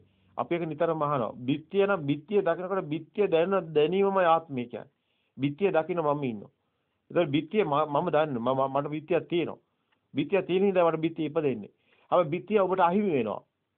ඔබේ අවබෝධය තුලින් ඒක වෙන්නේ. යථාභූත ඥානය හරහා ඒක වෙන්නේ. ඒතකොට බිත්තිය අහිමි වෙනකොට ඔබත් ඔබට අහිමි වෙනවා. ඔබ නැති වෙන. ඒකයි මට මම නැති වෙන හැටි කියලා අපි උද්දේශ පාට දැන්. ඒ මාතෘකා යටතේ අපි වීඩියෝ ඉදිරිපත් කරේ නිසායි. මේවා අපේම අත්දැකීමෙන් අපි ලෝකෙට හෙළි කරන්නේ. මේ පරම සත්‍යයක්. මේක එහෙම එහෙම නිකන් නිකන් දෘෂ්ටියක් නෙමෙයි. මේක පොතක තියෙන දෙයක් නෙමෙයි. මේ මේ මේ හොඳින් සත්සුදක්සේ අවබෝධයේ ඒ ප්‍රත්‍යක්ෂතාවය තුළ හෙළි කරන්නේ. ඔබට මේවා දැන් ගොඩක් වෙලාවට අපි මේවා හෙළි කරනකොට ගොඩාක් අයට මේක මල් වට්ටියක මල් වගේ වෙනවා. ඒ ගොඩාක් වික්ෂුණාන්සලට මේවා නැතුව තමයි හිටියේ මෙච්චර කාලයක්. මේ මොනවද ත්‍රිවිද්‍යා කියන්නේ? පුබ්බේ නිවාසානුසය කියන්නේ මේක අල්ලන්න බැරි කරලා තිබ්බේ. මේ ගියාත්මෙට ඒව පෙරාත්මවල දකින්නවා කිව්වේ. මේ ඒක නිසා මේක තුන් කාලෙත් නැති කරලා තිබ්බේ. මේක අකාලික දහමක්. දැන් මේ මොහොතේ එන අරමුණ මිදෙනවා කියන්නේ දෙයක් නැති වෙනවා. දෙයක් නැතුව ඔබට පින් කරන්න පව කරන්න දෙයක් තියෙනවා. එන කර්ම භූමි සම්පූර්ණයෙන් මිද වැටෙනවා. පුඤ්ඤාවි සංකාර අපුඤ්ඤාවි සංකාර හම්බ වෙන්නේ නැහැ. ඔබ ඒ ක්‍රියා ක්‍රියාසිතට එනවා. ඒ ක්‍රියාසිත තුළ ඔබට කිරියසිත හමු වෙන්නේ. ඒතර ඒ කිරියසිත මේ මිදෙන තැන මේ ලෝකෝත්තර සිත්වල තියෙන හැමතැනම අනිමිත්ත ඒ සමාධිය උපදින මේ සිත් කිරියසිත. මෙතන මේ දකින වෙණි කිරීම තුලත් මාර්ගසිතත් එතකොට එතන පණවන්න බෑ. අර අර අර කර්මපතේ පණවන්න බෑ.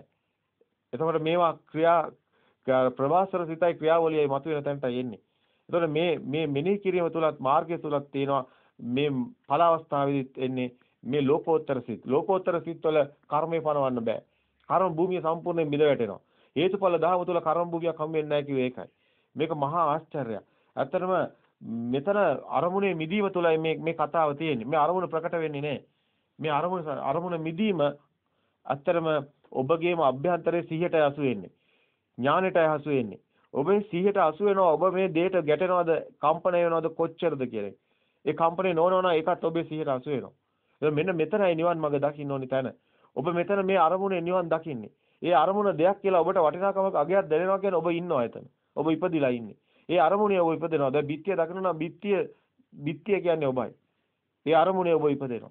හැබැයි ඔබ මේ මේකේ ඔබ ධර්මයේ දකිනකොට ඔබ මේ මෙතන මේ අරමුණේ මිදෙන අනිස්කන්ධයේ උදේවය දකිනවා. ඒ කියන්නේ ස්කන්ධය තමයි හැදුවේ දෙයක් කියලා. අස කියන ආයතනේ. ස්කන්ධන ප්‍රතිභව ආයතන පටලාවු. අයං උච්චේ ಜಾති යන්න බිත්තිය කියන ಜಾතිය හැදුවා, දරුවා කියන ಜಾතිය හැදුවා, අම්මා කියන ಜಾතිය හැදුවා. එතකොට මේ සේරම හදලා තියෙන ඉර හඳ සේරම හදලා තියෙන්නේ ශබ්ද වර්ණ මේ මේ කම්පෙට් එක ඇතුලේ.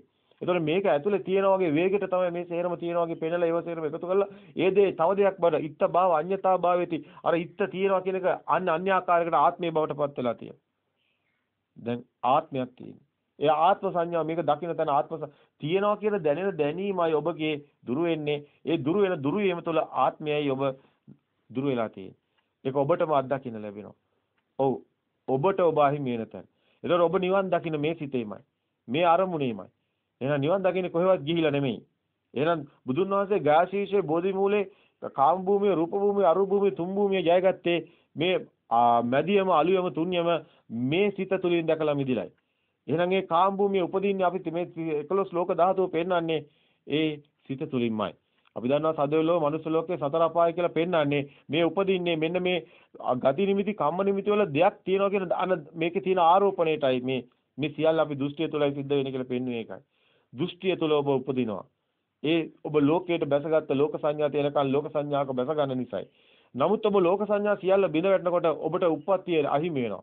ඒ කියන්නේ නැවත ඔබට උපදින්න අර ලෝක සංඥා ඔබට අහිමි වෙනකොට ඔබටම සාන්දිටික වෙනවා මේ ලෝක සංඥා දියවි යනකොට ඔබ නැවත උපදින්නේ නැති බව. ඒ අරමුණේ ඔබ උපදින්නෙත් නැහැ. ඒ අරමුණේ ඔබ උපදින්නේ නැහැ කියන්නේ අන්න භව නිරෝධයක් වෙනවා. භවය කියන්නේ දෙයක් කියලා ගත් එකමයි. ඉපදිනවා කියන්නේ දෙයක් කියලා ගත් එක දෙයක් කියලා ගත් එකමයි භවය කියන්නේ. අජ්ජෝ සහිතිත දව අරමුණේ බැසගත්තොත් යා රූපේ නන්දි අන්න ඒකට එන එන අගේ බන්ධන බලේ තදු නන්දි කියන්නේ තණ්හාවමයි යා රූපේ නන්දි තදුපාදාන අන්නේ බන්ධන බලයමයි. ඒතකොට භවෝ කියලා දෙයක් කියලා ගත්ත එක දැනෙන්නේ. ඒතකොට ඒ සම්පූර්ණයෙන්ම ඒ සියල්ල බිඳ වැටෙනවා. ඒ කියන්නේ උපාදාන ස්කන්ධයෙන් මිදෙන සීලේ ඒ උපාදානි නොවන තැන මෙතනයි.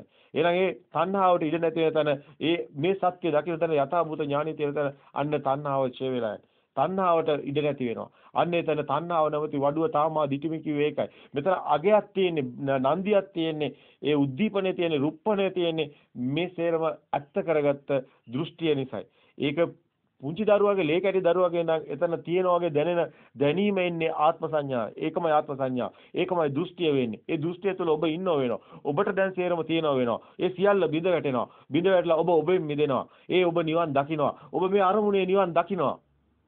එයයි සත්‍ය කතාව. එතන ආත්මය බිඳ වැටෙනවා. හැබැයි ඔබ අර සමත භාවනාව තුළ ඔබ ඒ රූප ධානය වලට ගියත්, ඒ අරූප ධානය වලට ගියත්, ඒ නසන නාසඤ්ඤායතනෙ හිටියත් එතනත් ආත්ම සංඥාවයි තියෙන්නේ.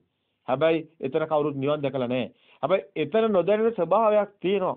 හැබැයි ඒ ස්වභාවය මේ පැත්තේ ඔබ දකින තැන ආත්ම සංඥාව සම්පූර්ණයෙන්ම බිඳ වැටිලා ඒ ස්වභාවයේ ඒ සංඥා සුකුම ස්වභාවය මතුවෙනවා. ඒ සංඥා සුකුම ස්වභාවයේ ආත්ම සංඥාවක් නැහැ. ඒකේ තියෙන මහා ප්‍රීතිය. ඒකයි සාන්ත ප්‍රණීත සුවේ. ප්‍රීති කිව්වට මේ පෘථග්ජන භූමියේ තියෙන ප්‍රීති කතාවක් නෙමෙයි. මෙතන තියෙන්නේ මහා සාන්ත සෝයක්. මේකට වචන තමයි මේ භාවිතා කරලා තියෙන්නේ. බුදුන් වහන්සේ අර සමතය තුල තිබුණු ඒ වචන ඒ විදියටම සිත මිදෙන හැම තැනකදම සිතින් මිදීමේ කතාව තුල තියෙන කොහොමද? විතක්ක ਵਿਚාර පිසුක ඒකකට සංසිඳන කතාව. මේක විදර්ශනා සමාධිය වලක් තියෙනවා. විදර්ශනා සමාධිය වලත් ඔබට මේ බාහිර අරමුණ ප්‍රකට වෙන්න විතක්ක ਵਿਚාර තියෙනවා.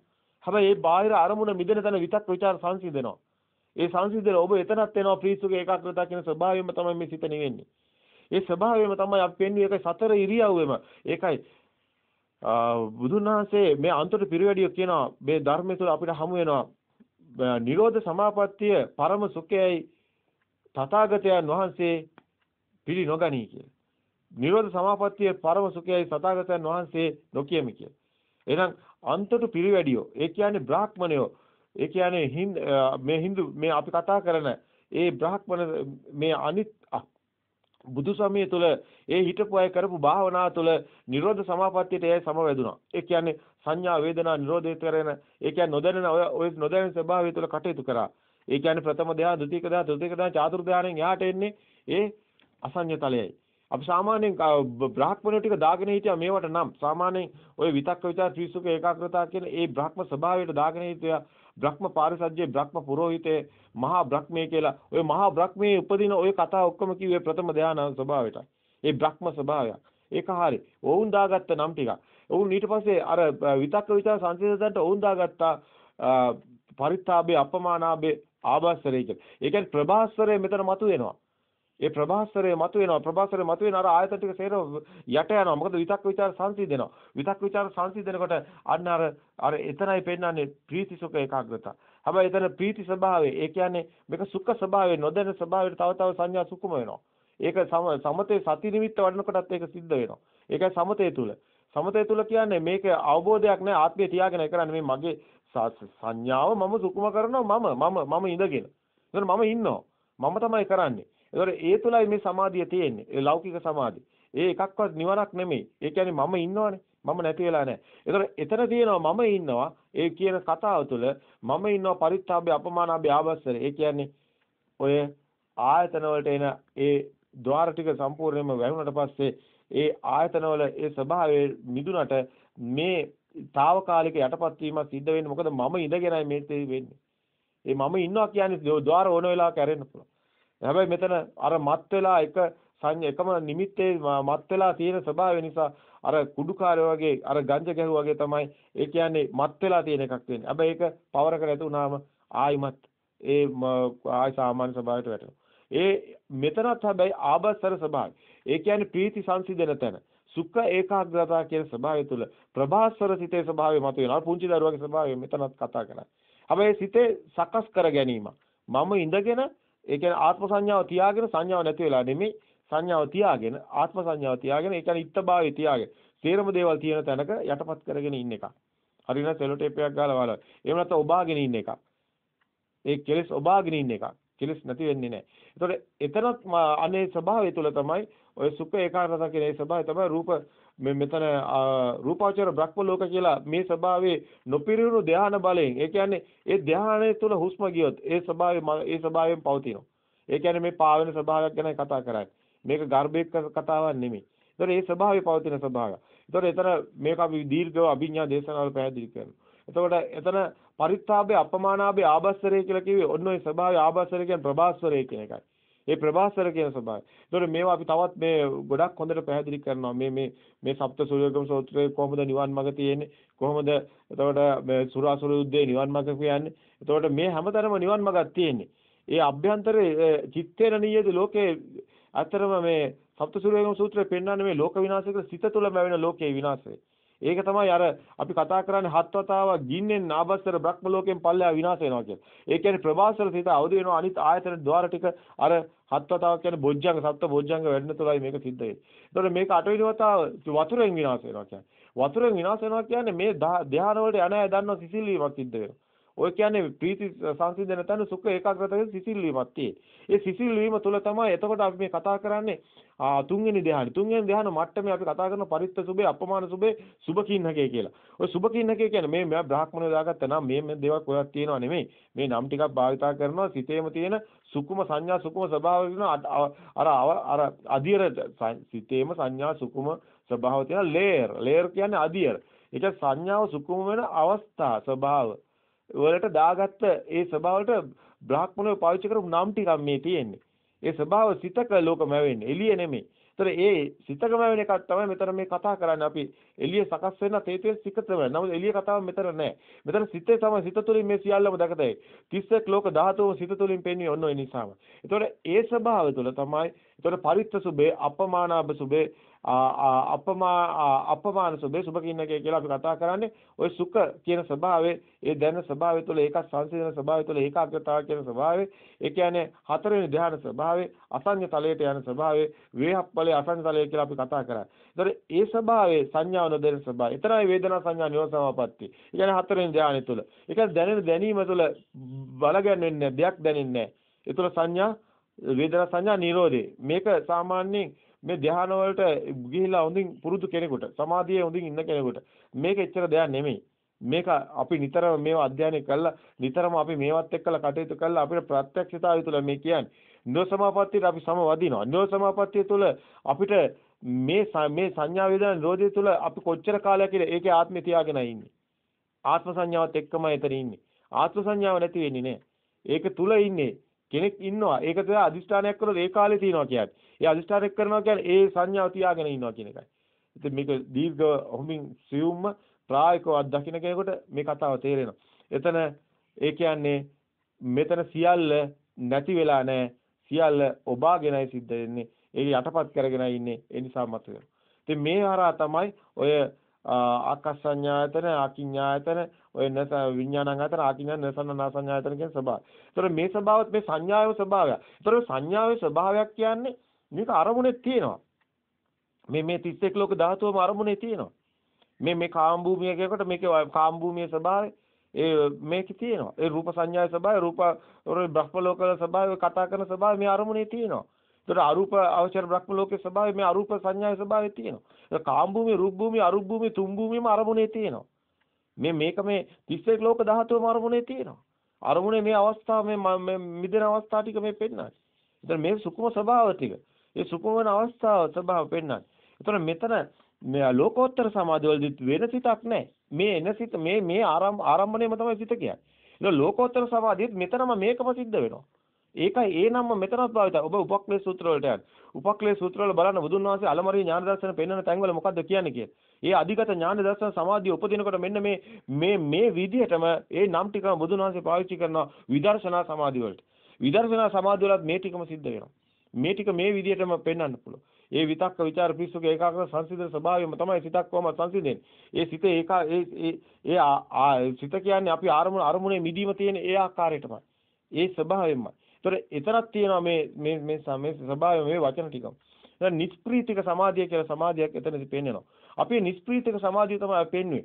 සාමාන්‍යයෙන් මෙතනදී අපි දැන් ඔබට මූලික පැහැදිලි කිරීම කළා ඉවරයි. මූලික පැහැදිලි කිරීම තමයි මෙතන ආත්ම සංඥාව සම්පූර්ණයෙන් බිඳ වැටෙන එක.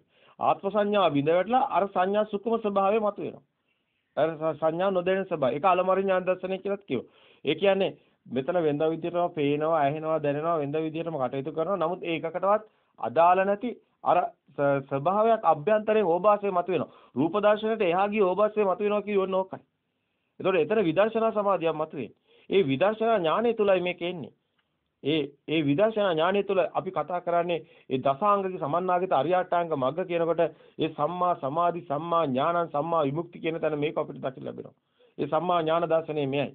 ඒ ඥා සම්මා ඥාන දර්ශනය කියන්නේ සාමාන්‍ය දර්ශනෙට යටින් එහයින් පේනවා සාමාන්‍ය පේනවා අයනවා දැනනවා සාමාන්‍ය විදියට තිබ්බා වුණාට මතුවලා තියෙනවා ඒ කිසිම දෙයකට ඇලෙන්නේ නැති ගැටෙන්නේ නැති අවදිමත් ස්වභාවයක් මතුවෙනවා. ඒ ස්වභාවය මතුවෙන්නේ කෙලෙස් ස්වභාවය දියගෙන ස්වභාවයට අනුපාතිකවයි. එහෙනම් මේකේ කෙලෙස් තමයි මේකේ ප්‍රධාන දේ. ඒ කියන්නේ ඇලෙන ගැටෙන ස්වභාවය. ඒ කියන්නේ කම්පණය වෙන ස්වභාවය. අකෝපචේත විමුක්තිය කියලා කියන්නේ ඇලෙන ගැටෙන ස්වභාවය කියන්නේ රාග දේශ මොහ කෙලෙස් සංසිඳනවා කියන්නේ එකම කතාව. එහෙනම් මේ රාග දේශ මොහ කෙලෙස් සංසිඳන මගයි මේ යන්නේ. එහෙනම් මේ රාගදේශ මොහ කෙලෙස් සංසිඳන මග ඒ රාගදේශ මොහ කෙලෙස් සංසිඳීමේ මට්ටම අනුව තමයි කෙනෙක්ගේ දියුණුව කියන්න පුළුවන්. ඒ රාග තමන්ටම අභ්‍යන්තරයට අසු වෙනව සාන්දිටික වෙන තමන්ටම කොයිතරම් රාගදේශ මොහ කෙලෙස් ප්‍රමාණයක් දිය වීගෙන යනවද තියෙනවද නැද්ද හැමදේම. එහෙනම් ඒක සාන්දිටික අකාලිකයි මේ මොහොතක් කියලා එකක් අපිට කාලයක් හම්බ වෙන්නේ දෙයක් හම්බ වෙන්නේ. ඒක සාන්දිටික අකාලික දෙයක් තියෙනෝනේ අතීතයේ තියෙන හැරි අනාගතයේ තියෙන හැරි අතීතං නාත්ත ගම්මිය නප්පටික්කගේ අනාගත පච්චුප්පන්නංච යේදම තථාතර විපස්සති කිව්වේ ඒකයි.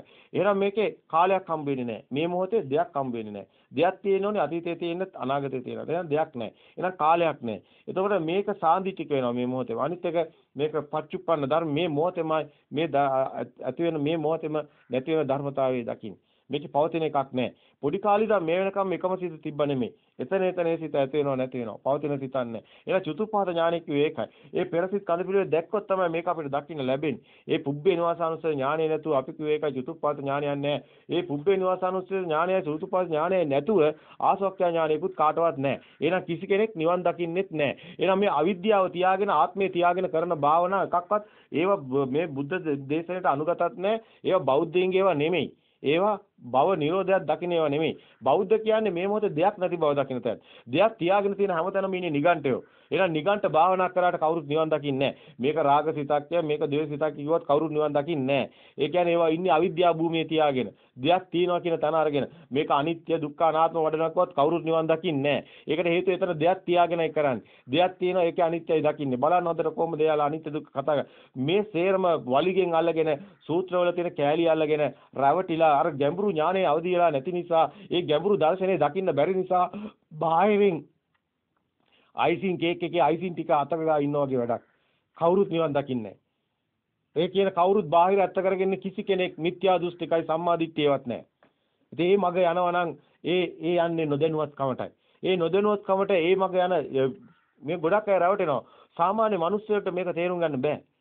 සාමාන්‍ය මිනිස්සුන්ට මේ කතාව තේරුම් ගන්න බෑ. මේක හොඳ මේක විශාල මේ විශාල අවබෝධයක් ඇතුව තමයි මේ කතාවේ අවබෝධය ඇති වෙන්නේ. ඒතකොට ඒ අවබෝධය වුණු කෙනෙකුට මේක හොඳට තේරෙනවා. මේ කිසි කෙනෙකුට බාහිර ඇත්තට විඥාන මායාවේ මැවෙන එකක් කවදාවත් බාහිර හම්බ වෙන්නේ නැහැ. විඥාන මායාවට රැවටිලා ඒක බාහිර ඇත්ත කරගෙන කවුරු හරි බන කියනවනම් එහෙම නැත්නම් මාර්ගය මේකයි කියනවනම් ඔහු ඇත්තටම මිත්‍යා දෘෂ්ටිකේ. ඒ කියන්නේ විඥාන මායාව කවදාවත් ඇත්ත වෙන්නේ නැහැ. ඒකයි ප්‍රඥා භාවයතබ්බා විඥාන පරිඤ්ඤයන් කියලා කිව්වේ. එතකොට අපිට දැන් හොඳටම පැහැදිලි. එතකොට මේ ප්‍රායෝගික පැත්තෙන් අපි කතා කරන්නේ මේ අරමුණේ මිදෙන තැන අර ඒ ස්වභාවය තුළ අර අලමඤ්ඤ ඥාන දර්ශනය මතුවෙනවා. ඒ කියන්නේ රූප දර්ශනයට එහා ගිය ඕභාසය මතුවෙනවා. ඒ සමාධිය මතුවෙනවා. ඒ විදර්ශනා සමාධිය. ඒ අධිගත සමාධිය මතුවෙනවා. ඒ අධිගත සමාධියයි ඒ භික්ෂුවගේ සමාධිය. අන්න ඒ පටිසෝතේ තුලයි හමුවන්නේ. අනුසෝතේ තුල නෙමෙයි. එහෙනම් පටිසෝතේ තුල ආත්මයයි ගිලිහෙන්නේ. ආත්මේ මුලින්දම්ම ගිලිහෙනවා. මුලින්දම්ම ආත්ම සංඥාව ගිලිහෙනවා ටිකෙන් ටික ටික ටික තමන්ට දිය වෙගෙන යනවා දැනෙනවා. අන්නේ ආත්ම සංඥාව දිය වීගෙන යනවා. ආත්ම සංඥා හමු වෙන්නේ නැහැ. අර මෙතන එන එන අරමුණ පෙන්ද විදියටම පේනවා, ඇහෙනවා, දැනෙනවා. අවසානයේට යනකොට ඒ අනාගාමි භූමියෙන් එහා අරහත් සමාධියට යනකොට ඒ අරහත් සමාධිය තුළ අපි කිය එකයි සෙනඟ ගොඩක් මැද්දේ හුදකලාව යනවා කියලා. ඇත්තටම සෙනඟක් නැහැ. පේන දෙයට වටිනාකමක් අගයක් මුකුත් ඇති වෙන්නේත් නැහැ. සාමාන්‍ය පේන්නේ නැති වෙලත් නෙමෙයි. දන්නවා කතාත් කරනවා. සාමාන්‍ය විදිහට හැසිරෙනවා. අර උපකාරණ ප්‍රශ්නේ ස්වාමීන් ඔබ මිනිස්සෙක්ද දෙවියෙක්ද බ්‍රහ්මයේද ගන්ධබ්බේද නෑ මම මිනිස්සෙක් නෙමෙයි දෙවියෙක් නෙමෙයි බ්‍රහ්මෙක් නෙමෙයි ගන්ධබ්බේ. සත්වේ පුජ්‍යලේ නෙමෙයි නම් ස්වාමීන් ඔබ කවරෙද්ද අන්න බුද්ධ. ඒ බුද්ධ ස්වභාවය කියන්නේ මේ ගස් වලන් වල එහෙම එකක් නෙමෙයි ස්වභාවධම එහෙම එකක් නෙමෙයි. බුද්ධ ස්වභාවය කියන්නේ චේතෝ විමුක්තිය චිත්ත විමුක්තිය තුළ උපදින්නේ. ඒ කියන්නේ විඥාන මායාවට නොරැවටීම තුළ දෙයක් හමු නොවන තැන ඒ ස්වභාවයේ චේතෝ විමුක්තියයි අනිමිත්තයි ශුන්‍යතයි නිමිති ප්‍රකට වෙන්නේ නැහැ ශුන්‍යතයි අප්‍රණීතයි අන්නේ අනිමිත්ත ශුන්‍යත අප්‍රණීත චේතෝ විමුක්තියයි බුද්ධ ස්වභාවය ඒ බුද්ධ ස්වභාවයයි. ඒතර සත්‍ය පුජ්‍යලෙන්නේ නැහැ. ආත්ම දෘෂ්ටිය සම්පූර්ණයෙන්ම බිඳවටලා තියෙන්නේ. ඒ සක්කාය දිට්ඨිය කියන්නේ ස්කන්ධ කායා කියන එක. දෙයක් කියලා ගත්තේ වේග අර වේගෙටයි. වේගය කියන්නේ ස්කන්ධය. එහෙනම් ස්කන්ධයේ වේගය වෙන්නේ කොහොමද කියලා අපි පෙන්නුවේ. ඒක මැවෙන එකක් දෙයක් වෙන්නේ නැහැ.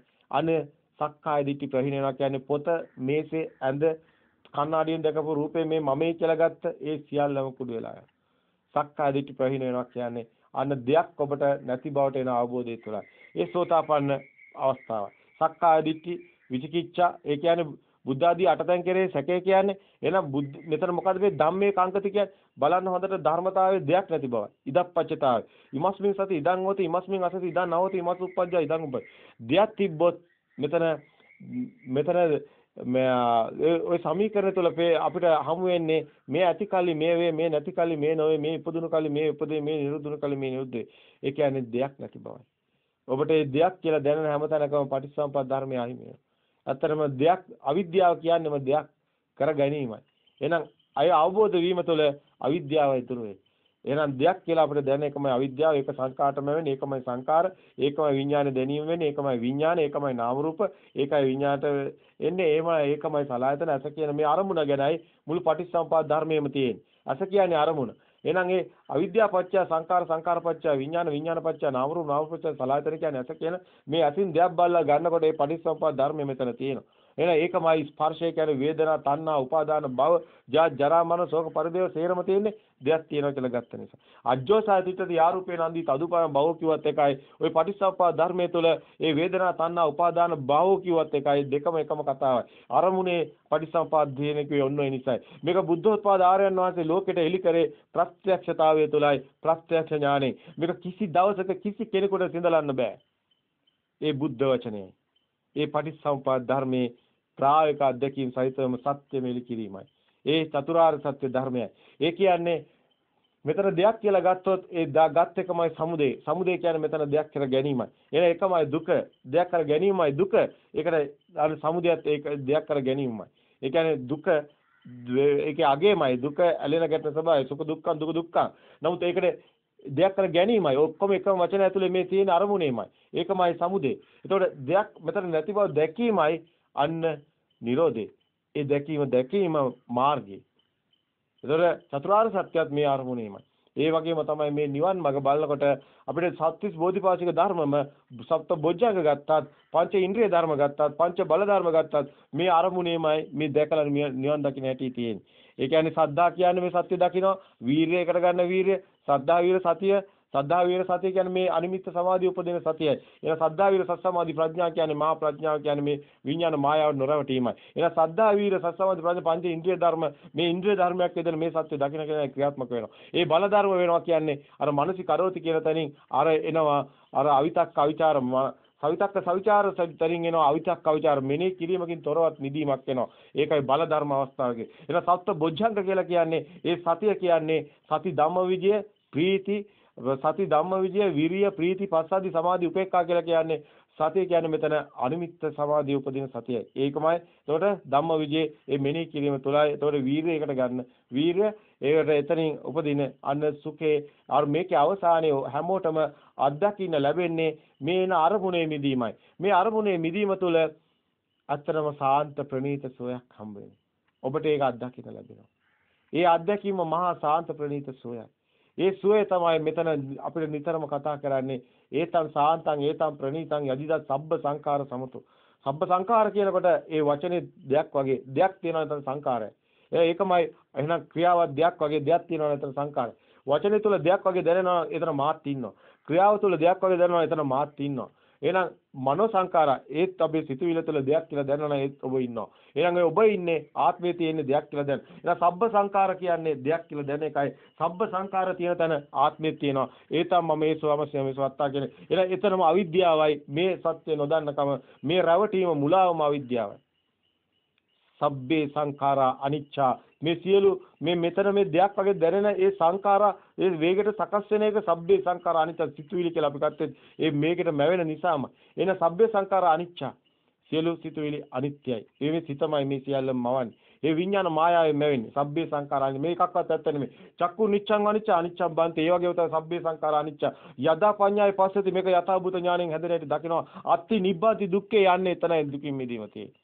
එහෙනම් ඒ සමග්ග විසුද්ධිය එකම මගේ යයි විසුද්ධියට තියෙන්නේ. එහෙනම් මෙතන අපිට සබ්බ සංඛාර සමතේ තියෙන තැනත් මේ අපි කතා කරන්නේ ඒ දස දස ඥානවල උද්‍යප්ප ඥාන මේ ඇති වෙන්නේ නැති වෙන්නේ දකින්න එක ඒ උදේ ඥානේ මේක දකින්න කොහොමද දෙයක් හැදෙන්නේ වාය ඥානේ අත්තගමංච කියන එක එන උදේ වේ ඥානේ ඒකයි බහිතපට්ඨා ඥාන මේක දෙයක් ආත්මේ නැති වෙන තැන ඇති වෙන බය ඥානයක් ඔබටම දැනෙයි සාන්දිටික වේ ඔබට ඔබට ඒ දැනෙන අපි ප්‍රායෝගිකව පැතිකඩ සූම් දේශනාවල සතියේ දිනවල ওই දවස් 5ම යන්නේ ওই ප්‍රායෝගික පැත්ත අවශ්‍ය නිසායි ඒ නිසා තමයි ඔබට මේ දකින්න අධ්‍යක්ෂ වල බය එනවා ඔබ රැවටුණා කියලා හිතනවා ඒ තැන්වල අපි පිරිසිදු කළ දිය යුතුයි ඒ කල්යාණ මිත්‍රාගේ යුතුයකම ප්‍රායෝගික අධ්‍යක්ීම් සහිතව ඒ මාර්ගයේ ගිය කෙනෙකුට විතරයි තව කෙනෙක්ට පෙන්වලා දෙන්න පුළුවන් නෑ ඔක මෙන්න මෙහෙමයි කියලා. අන්නේ උදව්ව අපි ඔබට කරල යුතු නිසායි. ඒ යුතුයකම අපි කළ යුතු නිසායි අපි ওই සතිය දිනපහේ සුම් සාකච්ඡා දාන්න හේතු උනේ ඒ කියන්නේ මාර්ගයේ යන අය ඉන්නවා ගිහි පැවිදි දෙපැත්තේම ඉන්නවා.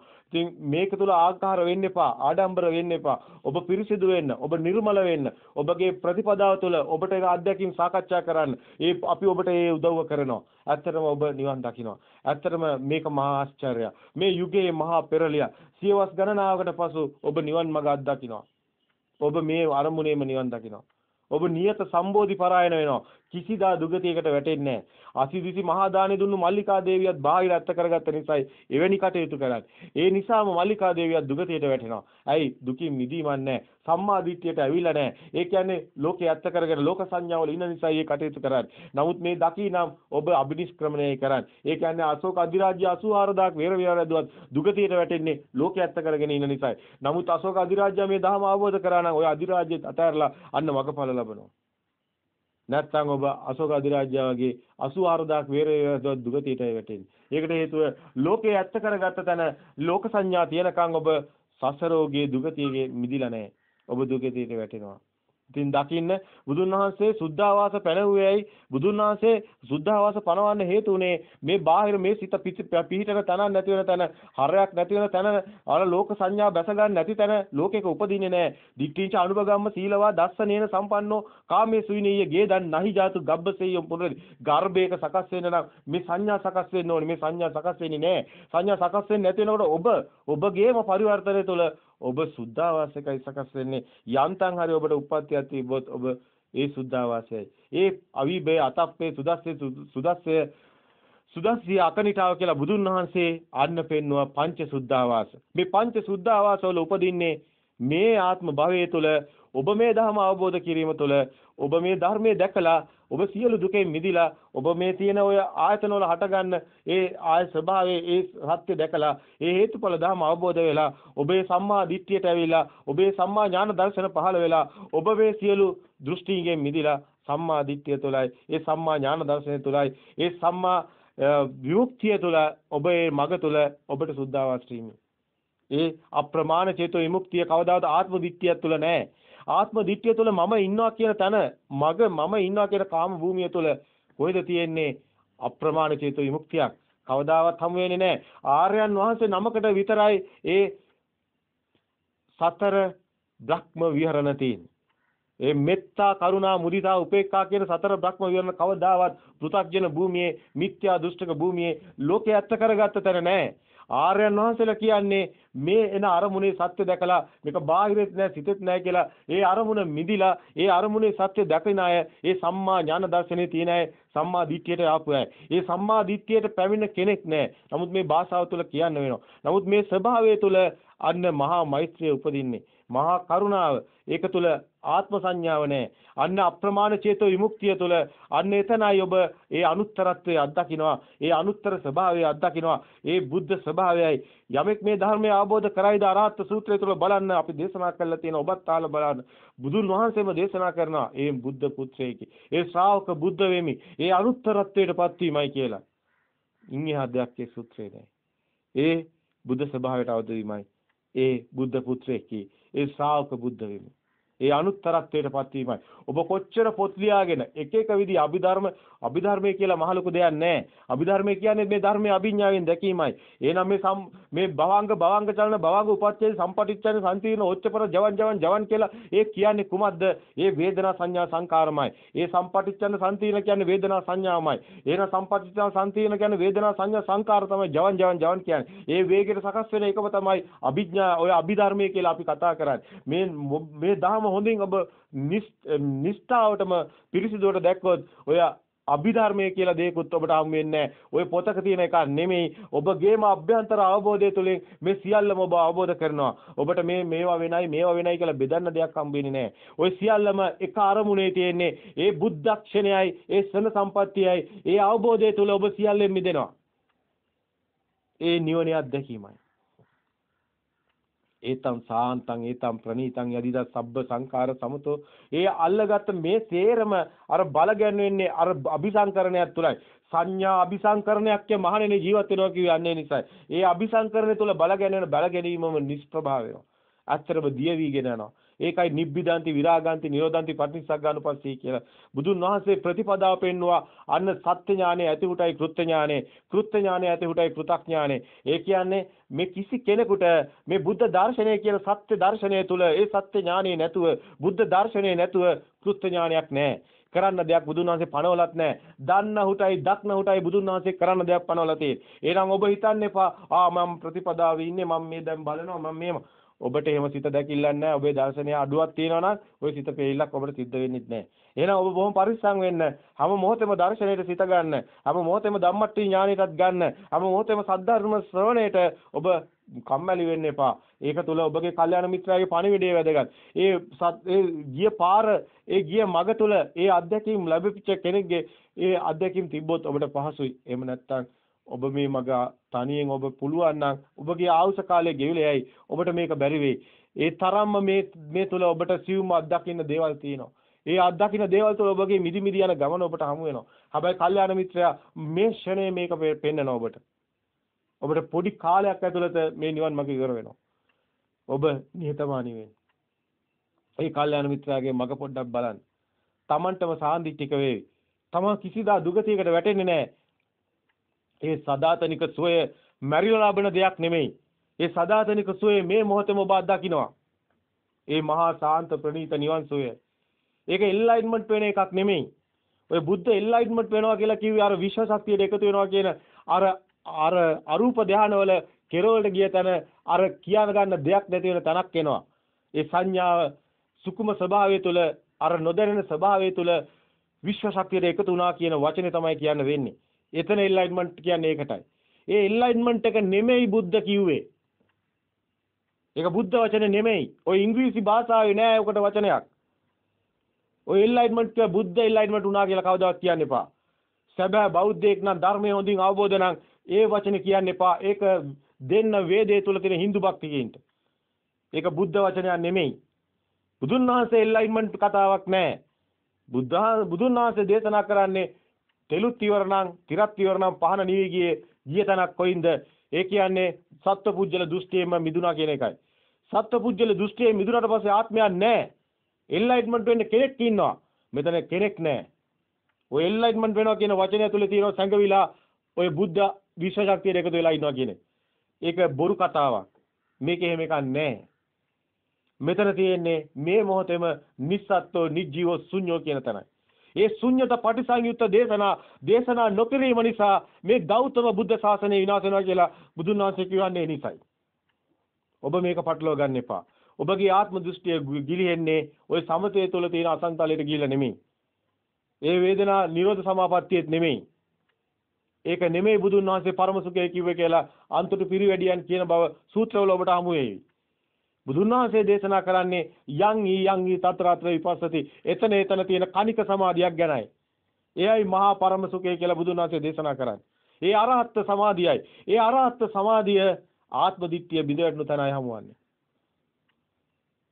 ඒනේන අරමුණ ඔබට බල ගැන්වෙන්නේ නැති මිදීමක් තුළ මහා චේතු විමුක්තියක් තුළයි සිද්ධ වෙන්නේ. එතන සත්‍ය පුජ්‍යලෙක් නැහැ. එතන ආත්ම කතාවක් නැහැ. එතන දෙන දෙයක්වත් නැහැ. මේකට වෙන පාත් එකක් නැහැ. ස්කන්ධයේ උදේවැය දකින්නවා කියන්නේ මෙන්න මේ අරමුණේ සත්‍ය දකින්නවා කියන්නේ උපාදානස්කන්ධයෙන් මිදෙන සීලය කියන්නේ ආර්යකාන්ත සීලය කියන්නේ ඒකම කතාවයි. මේක භාවනා කළා කෙරවලට ගිහිල්ලා අරූප ධානයේ ලබන එකක් නෙමෙයි. භාවනා කරනකොට මේ මේක මේ රූපකාර මේ වෙන වෙන මේ අංශු වලට කැඩෙනවා මේක නාමය මේක රූපේ ඔය සේරම විඥාන මායාවන් වල අතරමං වීමක් පමණයි. එහෙනම් පස්වක තවසෝ නිවන් දකින්නවා. එහෙනම් පස්වක තවසෝ ඔය ගිය විදියට භාවනා කළා ඔය හතරවෙනි ධානයේ සංඥා වේදනා නිරෝධ කරගෙන එන නිවන් දැකලා තියෙනවා. නෑ නෑ ඒක වෙන්නේ නෑ. එහෙනම් ආලාර කාලම උද්දක රාමපුත්‍ර නිවන් දැකලා තියෙන්න ඕනේ. ඒක වෙන්නේත් නෑ. ඇයි බුදුන් වහන්සේ ගුරුවරු අතෑරියේ? ඒක නිවන් මඟ නෙමෙයි. ඒකේ ආත්ම සංඥාව තියෙනවා. ඒ ආත්ම සංඥාව නැති වෙනකන් දුකෙන් මිදීමක් නෑ. සත්‍යයට දුකින් මිදීමක් කිසි දවසක නෑ. මේ ආත්ම සංඥාව තියාගෙන කරන භාවනාව. එහෙනම් මේ ආත්ම සංඥාව ගිලියෙන්නේ පටිච්චසමුප්පාද ධර්ම අවබෝධයෙන් පමණයි. එහෙනම් මේ පටිච්චසමුප්පාද ධර්මයේ අවබෝධයෙන් හැර නිවන් මඟ නැහැ. ඒ නිසා බුදුන් වහන්සේ බුද්ධත්වයට පත් වෙලා ගායශීෂයේ බෝධි මූලේ අලුයම මැදියම තුනියම අන තුන් ලෝකේ ජයගත්ත කාම භූමිය රූප භූමිය අරූප භූමිය අරමුණේ තුන් භූමිය දැකලා ජයගත්තා. ඒතර පටිච්චසමුප්පාද ධර්මයේ අවබෝධයයි තියෙන්නේ. ඒ සිත හැදෙන හැටි දැකලායි සිතෙන් මිදුනේ. අන්න එහෙනම් එතන තියෙන්නේ අන්න සයිලෝකනාථ සම්මා සම්බුද්ධත්වයට පත් වුණාගේ බුදුන් වහන්සේ මාර යුද්ධය කරා කිව්වේ කොහෙවත් ගිල යුද්ධ කළා නෙමෙයි. ස්කන්ධ මාර ස්කන්ධ මාර කියන්නේ මේ වේගෙට මැවෙන ස්කන්ධය තුළ දෙයක් වගේ මැවෙන මායя. දෙයක් වගේ මැවෙන මායя ස්කන්ධ මාර. එතනයි අபிසංකාර මාර. ඒ කියන්නේ මේක වේගය තුළ සකස් වෙන ආත්ම සංඥාවක් මෙතන ඇති වෙනවා. ඒකයි දේවපුත්ත මාර මාර මාර කියලා කියන්නේ. මේක ඔබට තාම නොතේරෙන්න පුළුවන් දෙයක් කියලා ගත්තොත් ඒකමයි මායя කියන්නේ මාර මාර කියන්නේ. එහෙනම් මේ ස්කන්ධ මාර, අபிසංකාර මාර, ක්ලේශ මාර. ක්ලේශ මාර තියෙන දෙයක් අபிසංකාර මාර තිබ්බොත් විතරයි. එහෙනම් ස්කන්ධ මාර, අபிසංකාර මාර, ක්ලේශ මාර දේවපුත්ත මාර, මාර මාර කිව්වේ මේ අරමුණේ දකින්න තැනයි සිත තුලින්මයි මේ යුද්ධ කළා තියෙන්නේ. එහෙනම් ඔබ දකින්න දැන් මේ බුදුන් වහන්සේ දේශනා කරන්නේ පස්වග තවුසන්ට මේ පළවෙනි වතාවට ලෝකේ බුද්ධත්වයෙන් පස්සේ කුමක්ද? ඒ දේශනා කරන්නේ එහෙනම් ධම්සප් පැවතුම් සූත්‍රය තුල පටිච්චසමුපාද ධර්මයමයි තියෙන්නේ. ඇත නැත අන්තවලින් මිදුණු දහමක් කියන්නේ ඔබ හිතන්න එපා වෙන දෙයක්. ඇත කියන්නේ මේක දෙයක් තියෙනවත් එළියේ බාහිර දෙයක් තියෙනවා කියලා ගත්ත කියන්නේම බාහිර ගැන කතා කරනවා කියන්නේම අජ්‍යත්ත බහිද්දා කියන අන්ත දෙකක් තියෙනවා කියන්නේ එතන ඉන්නේ මිත්‍යා දෘෂ්ටිකේ. මේකේ අජ්‍යත්ත බහිද්දා කියලා අන්ත දෙකක් හම්බ වෙන්නේ නැහැ. සත්‍ය දකින්න කෙනා සම්මා දිට්ඨියේ ඉන්නවනම්. ඇයි ඒ? අන්ත දෙකක් මෙතන නැහැ. මෙතන දෙයක් කියලා දැනන තැන ගත්ත දෙයක් කියලා විතර අන්තයක් වෙනවා ඒක බාහිරමයි. අන්න එහෙම වුණොත් තමයි අන්න අන්ත දෙකක් හැදෙන්නේ. අන්න බුදුන් වහන්සේ මජ්ජේ සූත්‍රයේ දේශනා කරේ ඒකයි බුදුන් වහන්සේ දේශනා කරේ ඒකයි යෝබ්බන්තේ විරිත්වාන මජ්ජේ මන්තා නලිප්පති තම් බ්‍රූහි මහා පුරුෂෝ සේද සිම්බනි මජ්ජගා කිය. යෝබ්බන්තේ විරිත්වාන අන්ත දෙකක් නැති වුණොත් විතරයි විරිත්වාන කියන්න පුළුවන්. යෝබ්බන්තේ විරිත්වාන මජ්ජේ මන්තා එදුනොත් මැදක් නෑලෙන්න. මජ්ජේ මන්තා නලිපතම් බ්‍රූහි මහා පුරුෂෝ අන්නේ දැක්කොත් මහා පුරුෂයෙක් වෙනවා. සේද සිම්බනි මජ්ජගා කිව්වේ අන්නේ එකයි. එහෙනම් අන්ත දෙකක් තියාගෙන කාටවත් ඒක හමුවන්නේ නැහැ. එතකොට මේක හොඳටම දැන් පැහැදිලි මේ කියන මේ කාරණාව. එතකොට අන්ත දෙකක් තියෙන තැන ඒ කියන්නේ මිත්‍යා දෘෂ්ටිකයි. ඒ අන්ත දෙකේ මිදෙන තැනයි සම්මා දිට්ඨියට එන්නේ. එහෙනම් ඔබ බාහිර අන්තයක් ගැන කතා කරනවා නම් ඔබ ඉන්නේ හැමතිස්සෙම මිත්‍යා දෘෂ්ටියේ. මේකේ අන්ත දෙකක් නැහැ. මේකේ අජ්‍යත බහිද්දා කියන අන්ත දෙක නැති වෙන තැනයි ඔබ සම්මා දිට්ඨියට. මේක දකින්න ඕනි දැනුමට ආරේ. ඒ දැනුමට හරි දැකලා තමයි ඔබ එන්නේ ප්‍රතිපදාවට. ඒ මුලින් එන්නේ කොහොමද දැනුම. එහෙනම් සුතමේ ඥානෙ. ඒකේ එන්න ඕනේ. එහෙනම් පූර්ව භාග ප්‍රතිපදාව කිව්වේ ඒ දර්ශන ඥානෙ. එහෙනම් අපර භාග ප්‍රතිපදාව මෙන්න මේක ඊට පස්සේ ඔබ ප්‍රායෝගික වෙන තැන ඒ අර ඔබට එන අරමුණේ සත්‍ය දැකලා මිදි මිදි යන ගමන. ඒ තුල ඇති වෙන මිදීමයි කෘත්‍ය ඥානෙ, කෘතඥානෙ බවට පත් වේ. එහෙනම් සත්‍ය කෘත්‍ය කෘතක් ත්‍රිපරිවට්ටම් ද්වේදසාකාරම් කියලා ධම්සප්පවතුන් සූත්‍රය තුල පෙන්වන්නේ කාරණාව. පෙරණොයසු විරු දහම විදියට පුබ්බේ අනුසේ ධම්මේසු කියලා දේශනා කරන්නේ මේ ධම්ම. එහෙනම් මේ ධාම ඊට කලින් තිබිච්ච එකක් නෙමෙයි. නිගණ්ඨනාත පුත්‍රය සියල්ල කර්මයෙන් වේ කියන එක බුදුන් වහන්සේ ප්‍රතික්ෂේප කරපුවා. එහෙම දෙයක් නැතුව කොහොමද එහෙම වෙන්නේ? ඒ කවදාවත් වෙන්නේ නැහැ. දෙයක් තිබ්බොත් අතනත අන්ත වලට අහු වෙනවා. අතනත අන්ත වලට අහු වෙන තැන අන්න බුද්ධ දර්ශනේ නැහැ. මධ්‍යම ප්‍රතිපදාවෙන් ධර්ම දේශනාව කරන්නේ මැදුම් පිළිවෙත කියන්නේ අතනත අන්ත වලින් මිදුණු දහම. අතනත කියන දෙයක් තියෙනවනේ. දෙයක් තියෙන තැන බුදු දේශනේ නැහැ. එහෙනම් මේ සූත්‍ර හැම එකක්ම මේ අපිට හමුවන්නේ 84000 ධර්මස්කන්ධය තුල මධ්‍යම ප්‍රතිපදාවේ බුදුන් වහන්සේ කරපු ධර්ම දේශනා. ඒ මධ්‍යම ප්‍රතිපදාවෙන් කරපු ධර්ම දේශනාවල අතනතාන්ත නැහැ. දෙයක් තියනවා කියලා අරගෙන මේව පරිවර්තනය කරාට වැඩක් වෙන්නේ නැහැ. ඒ පෘථග්ජන භූමියේ පරිවර්තන. ඒ ආර්ය භූමියේ පරිවර්තන නෙමෙයි. ආර්ය භූමියේ පරිවර්තන වල දෙයක් හම්බ වෙන්නේ නැහැ. අතනතාන්ත වල මිදුණු දාම. එහෙනම් මධ්‍යම ප්‍රතිපදාවෙන් කරපු ධර්ම දේශනා පෘථග්ජන භූමියෙන් ඒක අද කළා තියෙන්නේ අර හැමතිස්සෙම දෙයක් කළා පරිවර්තනය කරපු එකයි. දෙයක් කළ පරිවර්තනය කරපු නිසා ඔබ නිවන් මඟ ඔබට අහිමි වුණේ. නමුත් මේක මේ නිවන කියන්නේ මහා ලොකු එහෙම බිල්ලෙක් එහෙම එකක් නෙමෙයි. නිවන බිල්ලෙක් කරගන්න ඕනිත් නෑ. මේ මොහොතේ මේ අරමුණේ දැන් දැක්කොත් දැන් නිවන් දකිනවා. එක සිතේ නිවන් දකින්න කෙනාට අන්න එක්ෂණික සිතක උදේවැය දකින්නාට සම්මුති මරණයත් බොරුවක් වෙනවා. දෙයක් තිබ්බොත් ආත්මයක් තියෙනවා. ඔබ ඉපදුනොත් තමයි ඔබ මැරෙන්නේ. ඔබ ඉපදෙන්නේ නැත්තම් මේ එක අරමුණකවත් ඔබ ඉපදිලා නැහැ. එක අරමුණකවත් ඔබට දෙයක් කියලා දැනෙන්නේ නැත්තම් ඔබ ඉපදිලත් නැහැ. ඒ වුණොත් ඔබට මරණිකුත් නැහැ. ඒ සදාතනික සුවය ඔබ මේ අරමුණේම ලබනවා. මේ ජීවත් වෙලා ඉන්න මේ මොහොතේම ඔබ සදාතනික සුවයටපත් වෙනවා. මැරිලා කොහෙවත් ගිහිලා නෙමෙයි. මේ මොහොතේම සදාතනික සුවයටපත් වෙන සාන්දිටික අකාලික ඒපසික ඕපනයික පච්චුප්පන්න ධර්මයේ මෙයයි. මේක ආත්ම දිට්ඨිය සම්පූර්ණයෙන්ම කුඩු වෙලා යනවා මේ තුල ඔබගේම අභ්‍යන්තරයට අකෝපාචේතෝ විමුක්තිය තුල අර ඝන සංඥා සුකුම වීම තුල ඔබට මේ දේවල් තියෙනවා කියලා ගින්න නිවන තැන ඒ තුන් භූමියම මිදෙන තැන ඔබට මහා අර අර සුකුම ස්වභාවයක් අත්දකින්න ලැබෙනවා ඒක ඔබට ඒ ප්‍රතිපදාව තුළ එනේන අරමුණ මිදි මිදි යනකොට ඔබට ඒ ප්‍රීති සුඛ කියන අවස්ථා ටික ලැබෙනවා. ඒ ප්‍රීති සුඛ ඒකාග්‍රතාව කියන ඔබ යන්නේ මගමයි. ඔබට හමු වෙනවා අර සියල්ලෙම මිදුණු අර ආත්ම දිට්ඨියත් ගිලිහුණු අන්න නොදැනෙන ස්වභාවයක් අන්නේ ස්වභාවය තුළ ඔබගේ ඕභාසය මතුවෙනවා. ඒ ස්වභාවය ඔබගේ අභ්‍යන්තරයේම මතුවෙනවා. ඒ සිහියට ඒක අසු වෙනවා. ඒ ඥානෙට ඒක අසු වෙනවා. ඒ අලමරිය ඥාන දර්ශනේ ඔබගේ රූප දර්ශනෙට යටින් ඔබට ඕභාසයේ විදියට මතුවෙනවා කිව්වේ ඒ සමාධිය අනිමිත්ත සමාධියයි මතුවෙන්නේ. ඒක ඔබට සතර ඉරියාවෙම හමු වෙනවා. ඔබ සතර ඉරියාවෙම සියලු දුකෙන් මිදිලා ඉන්නේ. ඒක තුළ ආත්ම කතාවන්නේ. ඒ සංඥාව නොදැනෙන ස්වභාවයත් එතනමයි. මේක පටලවා ගන්න එපා. කවදාවත් සමතේ තුලින් හම්බෙන්නේ නැහැ. හැබැයි සමතේ තුල අපි ඒ ගමන ගිහිල්ලා එතන අපි සිර වුණා අසඤ්ඤතල්. බැරි වෙලාවත් අපි මේ ධර්ම අවබෝධ නොකළා අපි අදටත් ඒ අසන්න සංඥා හිර වෙනවා. ඔබට ඒක අපි ඉස්සරහට කියන්න. ඒ තරම් මෙතන භයානකයි. අපිට සෑහෙන කරදර වලට මුහුණ දෙන්න සිද්ධ වුණා. ඔබත් එතන ගිහින් ඔබ හිර වේවි. ඔබ අමාරුවේ වැටේවි. 아무ත් ඔබ මේ ධර්ම අවබෝධ කළේ නැත්නම් ඔබ කිසි දවසක ඔබට බෑ ඒකෙන් ගැලවෙන්න. ඔබට ඒක තුල තියෙන විශාල පරයක් ඔබට පැහැදිලි කරා. ඔබ අමාරුවේ වැටෙන නිසායි කියන්නේ. ඔබ මේ ධර්ම අවබෝධ කරගන්න. ඔය සියලු දේෙන් ඔබ මිදෙනවා. ඔබ ඔබ ඔබට ඒ වාග්ය උරුමයි. ඒ ධර්ම අවබෝධ කිරීම තුළ අපේ සියලු ඒ අපේ ඒ තිබුණු ඒ අරූප ධානයේ තුළ තිබුණු ඒ සිරවීම සම්පූර්ණයෙන්ම දුර වෙලා ගියා. එතකන් ඒක දුර වෙන්නේ නැහැ. එතකන් අපිත් හිටියේ අරූපයේ තියෙන ඒ අසඤ්ඤය තුළ ඉර වෙලයි. නමුත් ඒක දුරු වුණේ ධර්ම අවබෝධය තුලයි. ඒ තුල ආත්ම දිට්ඨිය බිඳ වැටෙනකොටම සියල්ලම අන්න ආත්ම දිට්ඨියත් එක්ක තිබුණු අරූපෙත් දිය වෙලා ගියා. අරූප සංඥා තුළ ඉර වුණ එක එතනින් තමයි දිය වෙන්නේ. ඊට පස්සේ අපිට මේ මේ මේ සංඥා සුකුම ස්වභාවය තුළ මේ වන විට සතර ඉරියව්වෙම අපි අත්දකින්න සමාධියක් තියෙනවා. ඒ අලමරි ඥාන දර්ශනය තුළ ඒ අධිගත සමාධිය. ඒ සතර ඉරියව්වෙම තියෙනවා. ඒ ඔබටත් උරුම වේවි. ඔබ අපේ සද්දේ හොයන්න එපා. අපේ භාෂා ශෛලිය හොයන්න එපා. අපේ රූපකායන් හොයන්න එපා. කිසි දෙයක් හොයන්න එපා. අපි දේශනා කර ධර්ම විතරක් බලන්න මොකද්ද කියන්නේ. ඒ පස්සිකෝ උපනායකෝ එන්න බලන්න කියන දේ අපි කියන්නේ. ඔබට ඒක ප්‍රත්‍යක්ෂ වේවි.